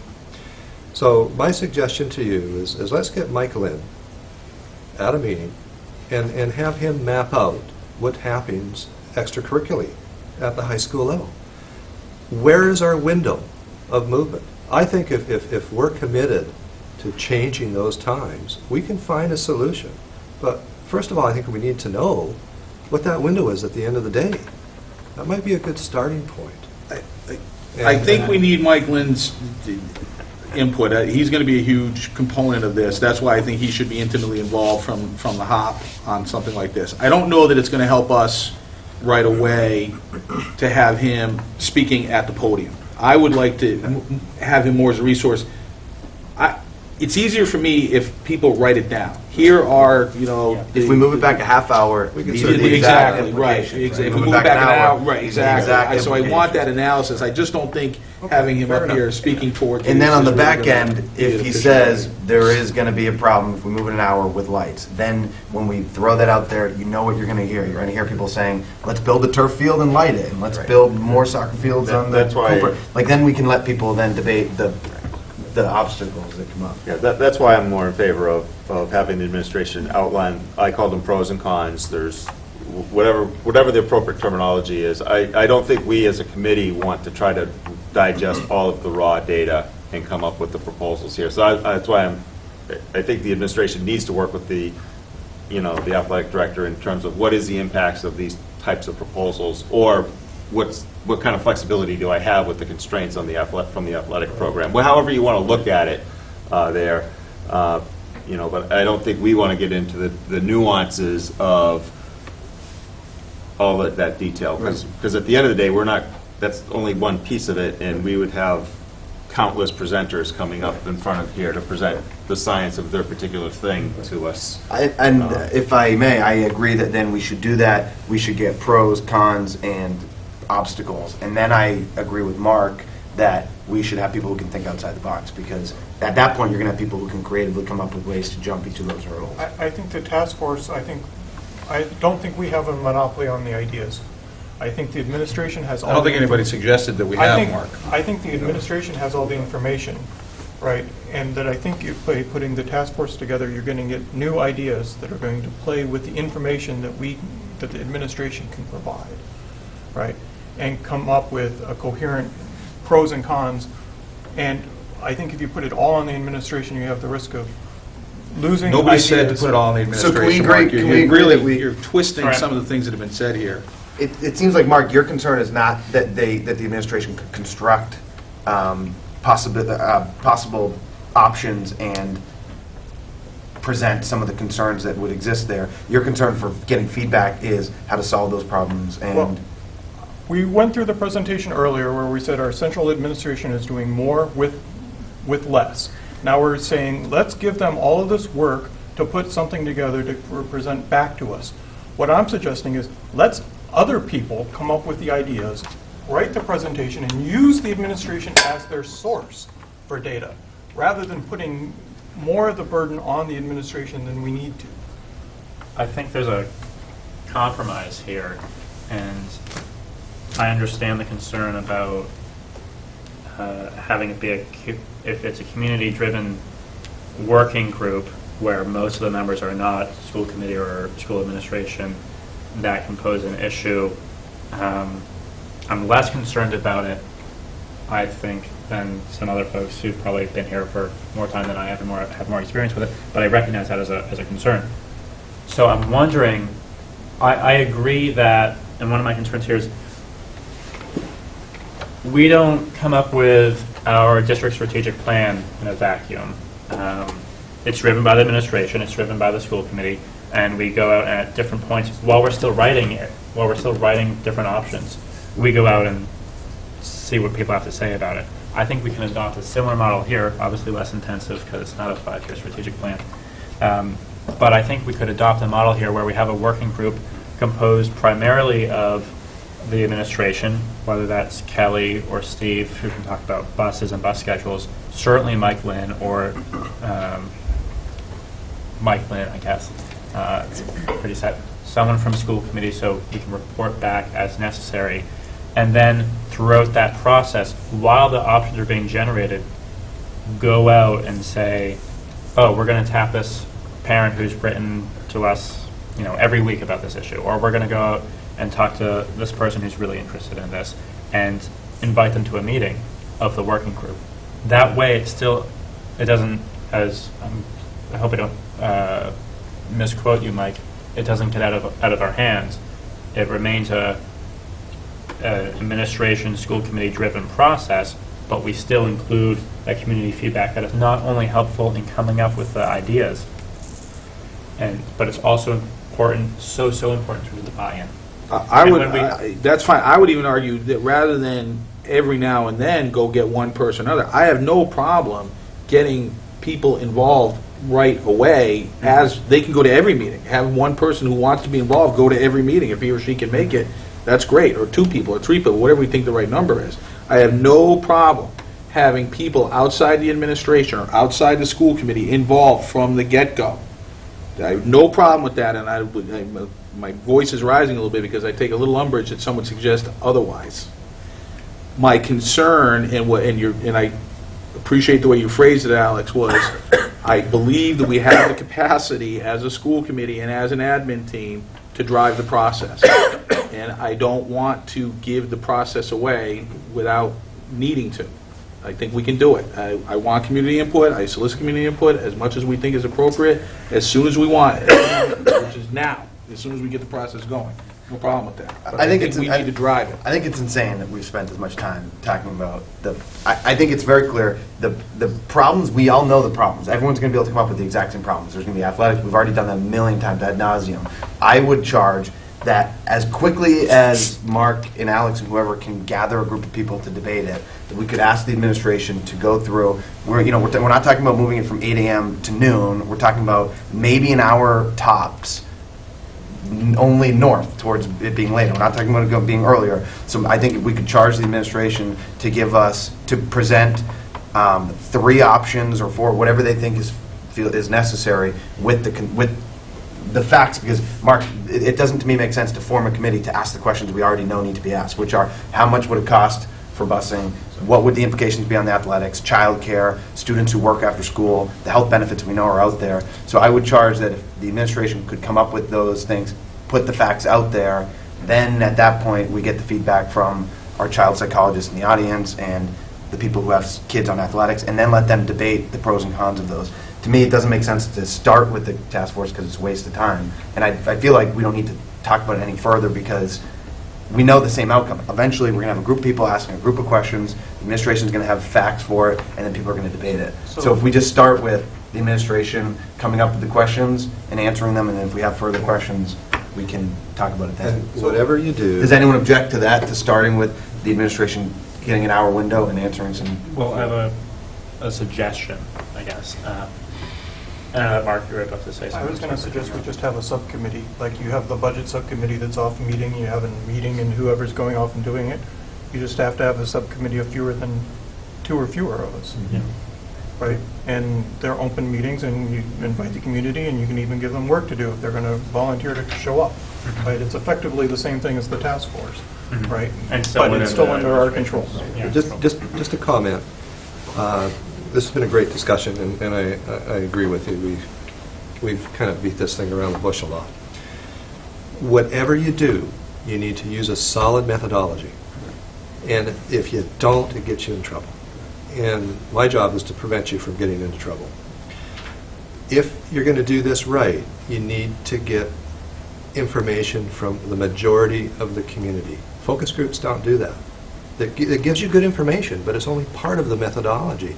You need to devise a survey with options, et cetera. But you need to be reaching 60% of your population.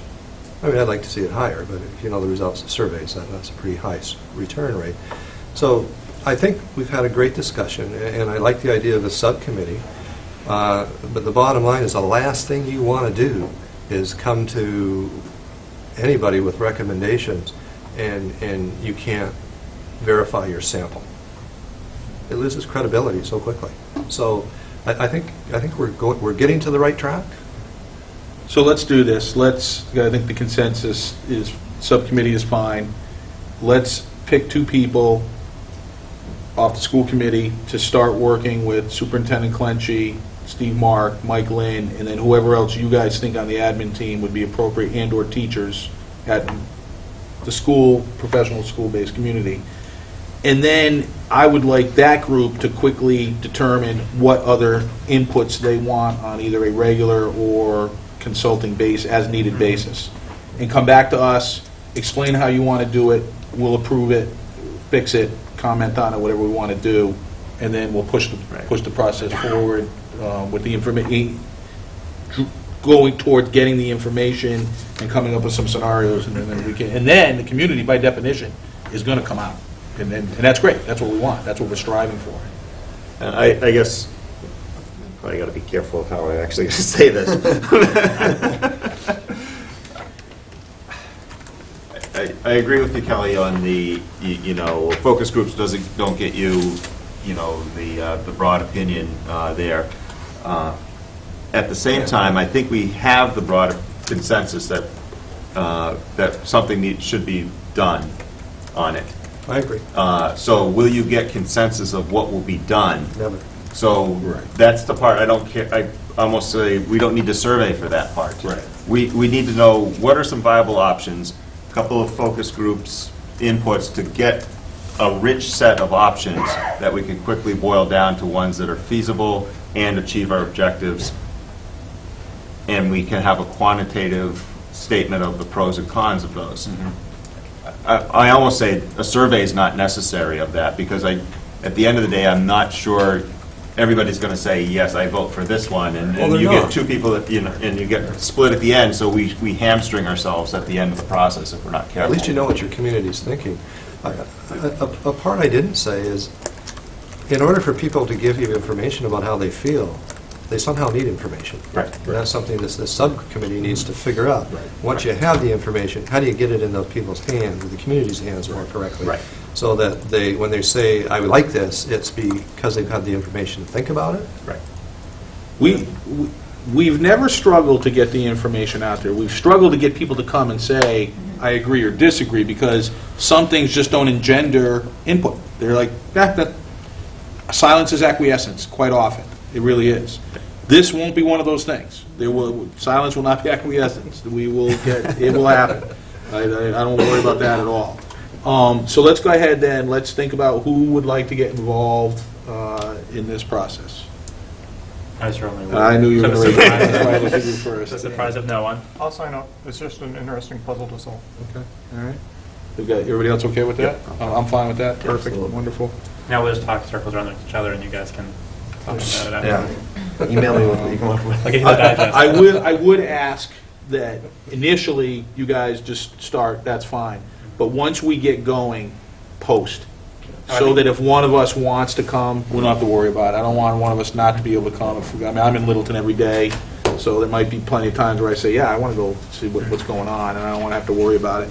I'm not going to worry about it at the beginning, because it's going to be more about process. Um, But Point it's- yeah. Clarification on that, if it's a subcommittee, we should post every time we meet. You should, you know, but I'm saying, like, if, if you guys need to get together to have a meeting before you're ready to, you know, figure all that out, Okay. you can do that. And then you're right, as soon as you find As it soon as we start feasible, deliberating. if you come up with a meeting schedule, post it, done. You know, but you don't have a meeting schedule yet, so how are you gonna post? Yeah. You know, so I wouldn't worry about posting the first one or two, but as you go through the pri, you know, now is, let's post, let's get it done. And then partly so that we don't violate the open meeting law, but also it just helps people understand when it's happening. And anybody that we don't, you know, deliber directly solicit to get involved can get involved anyway. You know, that's what, that's what we want. So, If you're okay with it, I- I'd like to put Steve on the committee, and you have me when you want. That's fine. Yeah, If you that's need me, fine. I'll be there. Yeah. That way, uh, I can uh, have some differentiation. Perfect. And Steve and I were just talking earlier today about how much the business office does, so Right. thanks for volunteering. Big smile there, Steve. I was gonna say- Hey, there it is. I knew we could get this. This is like, this is like when Steve, Barack Obama volunteered Joe Biden to cure cancer and. Yeah, yes. Now, we gotta close this Yes, out. all right, so we're good, we're good on Do we need a that. Great motion? discussion, thank you for the input on that. Obviously, you're gonna, there's gonna be a lot more to come, so, um, that should, that'll be good. All right, last time, interested citizens on other matters. We're gonna fly through the subcommittee reports as quickly as we can. PMBC, Uh, I'll pass. excellent, all right. Budget There's a lot- subcommittee, what? There's a lot going on, but I- nothing directly relevant. Excellent, for that's this perfect. I appreciate your, your discretion. Budget Subcommittee, we can pretty much pass too. We talked about, really what we're working now on is providing that information into that model that we talked about earlier tonight. We have a meeting coming up in two Yeah. or three weeks. Yeah, um, That's in February, we have meetings yeah, before then. yeah, we have a meeting before that. We'll, we'll- let's do that. Let's come up with, at the next meeting, we will come up with a whole calendar, when we're meeting, when the present, public presentation's gonna be, and town meeting even, and all that kind of stuff, and that'll give us the, uh, the, the the path that we're gonna follow. So that's good for that. Policy Subcommittee? Uh, I'm a little behind, I've got a, um, I know, at 29 more to go. Then you get to start over again, right? True. All right, is there anything else that we need to talk about this evening? No. No. Do we need an executive session? No. No, excellent. That was a scary I question. will entertain. My heart Make a just motion a to beat. adjourn. Motion to adjourn? Second. Seconded, all in favor? Aye. Aye, excellent, thank you. Uh,